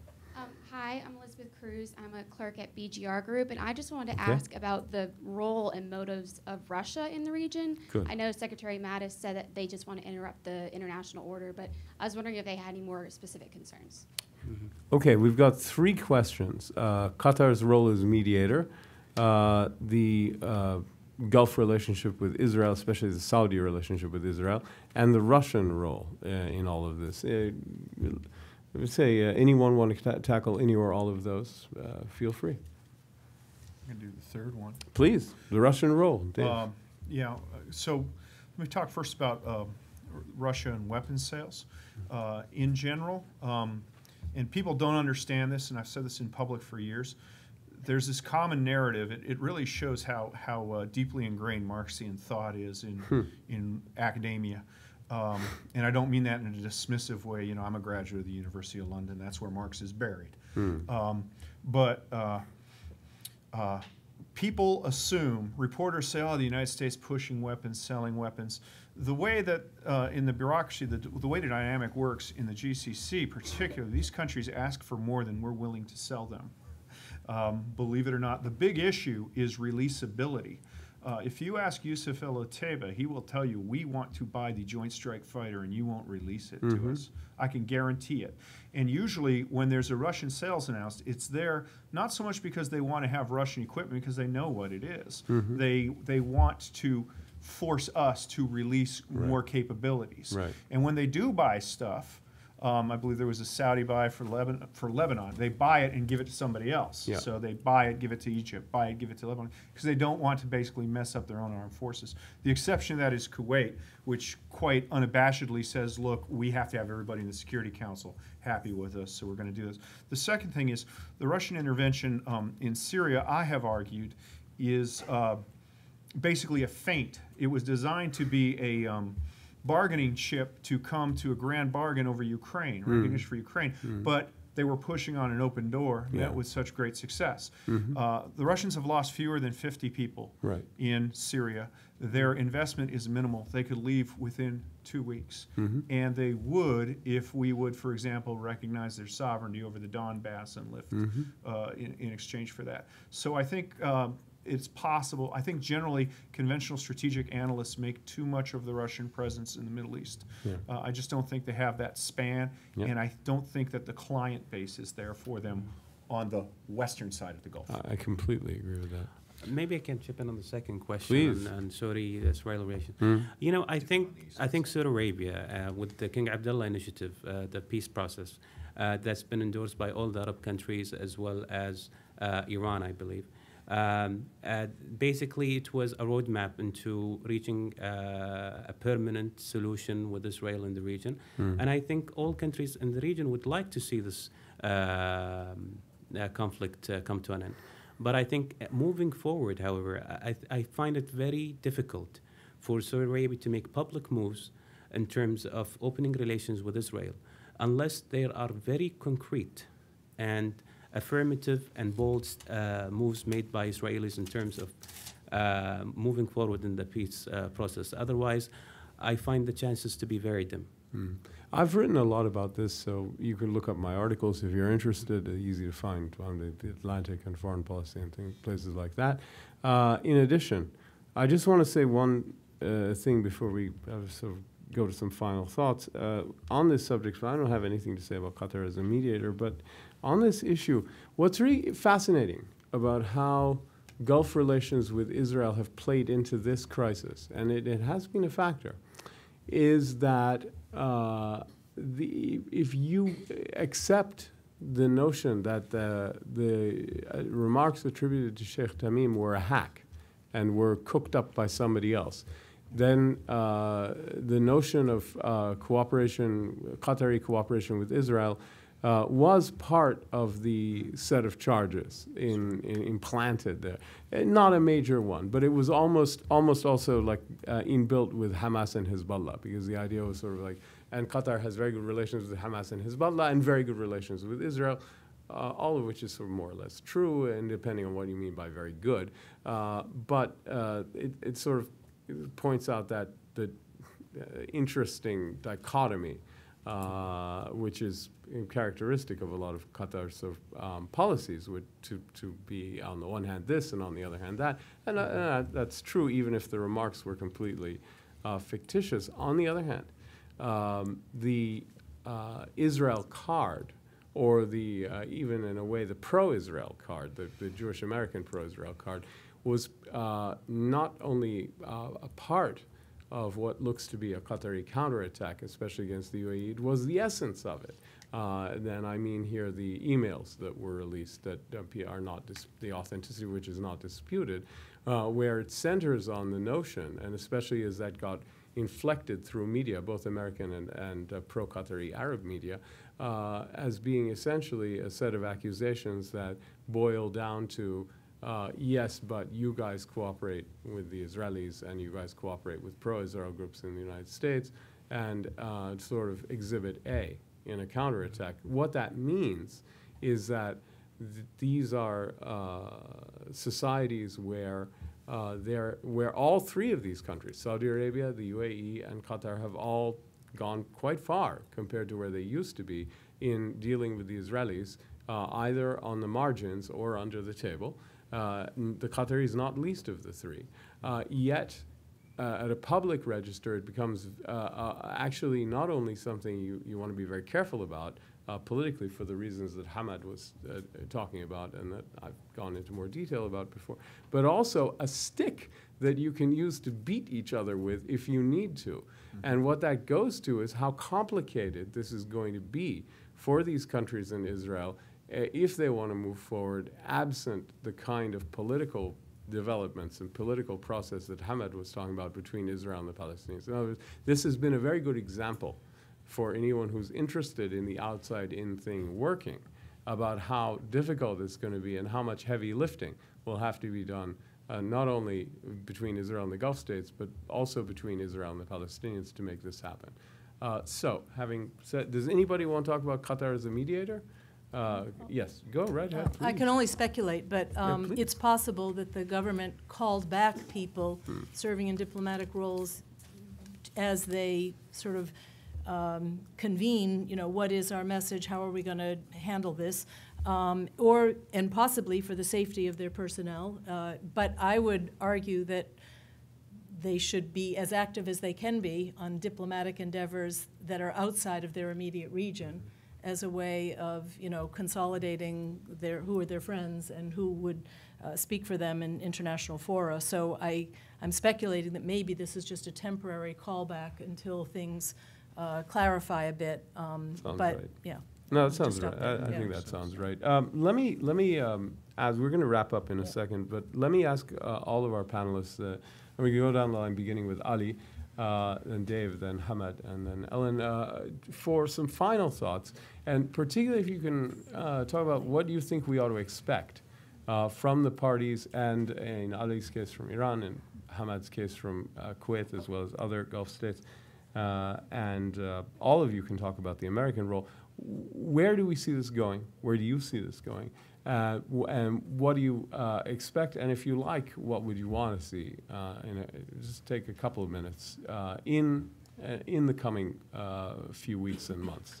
I'll begin with Ali and come down the line towards me. Well, on the Iranian side, I think as as long as the situation more or, more or less remains the same, the Iranians are probably going to adopt a similar strategy to what they have at the moment. Mm. The one thing that could change this is any kind of clash, uh, direct or indirect, uh, you know, planned or inadvertent between Iran and the U.S. somewhere in one of these flashpoints that mm. the two countries. You, you, mean a military clash yeah, or a diplomatic? Okay, military, military yeah. clash. Okay. Uh, somewhere either in the Strait of Hormuz or now in eastern Syria, mm-hmm. around Al Tanf, or in Iraq, or in Yemen, mm-hmm. any kind of clash that would, uh, you know, result in escalation, serious escalation of tensions between Iran and the U.S. could have ripple effects about how Iran deals with uh, some of the regional uh, issues that it Mhm. hasn't uh, interfered in too much, including this crisis, but also, uh, you know, uh, eastern province of Saudi Arabia or even uh, Bahrain. So would, would throw all kinds of things into play that haven't been in play, right? And that makes sense. Dave? Um, Well, I think that uh, if this problem isn't solved by Eid, it's going to go on for at least a few months, if Mhm. not longer. Yeah. Um, Yeah. I think that uh, the question as to whether or not the United States gave a green light to Saudi Arabia and the UAE, this is, this is going to be like the April Glaspie Saddam Yeah. Hussein conversation, will be debated for years. Uh, But I can tell you yeah. that if they did see a green light, the signal was malfunctioning. Right. The bureaucracy is, uh, does not want this to go on. This dispute harms American national security interests. It Mhm. is not in our interest for this dispute to go on. Right. We are focused on the Middle East, but we have to understand that in terms of how the broader U.S. government views this, this is a border dispute between Paraguay and Bolivia, but with higher stakes. It needs to be resolved quickly. And if um, either side thinks the United States is going to decisively engage on its side against the other, they are mistaken. Um, the bureaucracy is going to say, look, get this done so we can focus on what's important. Right. And uh, inshallah, that'll happen by Eid. Well, that, thank you. That's what I was saying. Inshallah, Dave. That was- Um, that was super you know, helpful. A quote, a quote by Winston Churchill comes to my mind. He said that the U.S. will always make the right decision after they exhaust every other option. Yeah.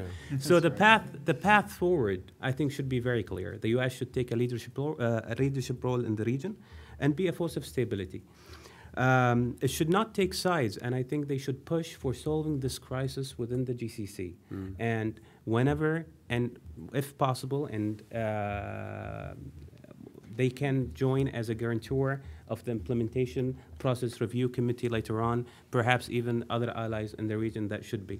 I think what's happening right now, and un- unintendedly perhaps, is a diversion from what the focus should be on. Um, ISIS is on the defeat right now. In Iraq, 96% of Mosul is liberated. Mhm. Uh, in Syria, they are uh, on the defensive, and I think their last stand right now in Deir ez-Zor, that's very good. Uh, I think what will happen in the region is is uh, the future of Iraq, uh, the stability of future of Iraq and, and Syria, and these the files I think that should be tackled hand on, uh, swiftly and quickly to make sure the region is stable back again and on its feet. And thank you. Excellent.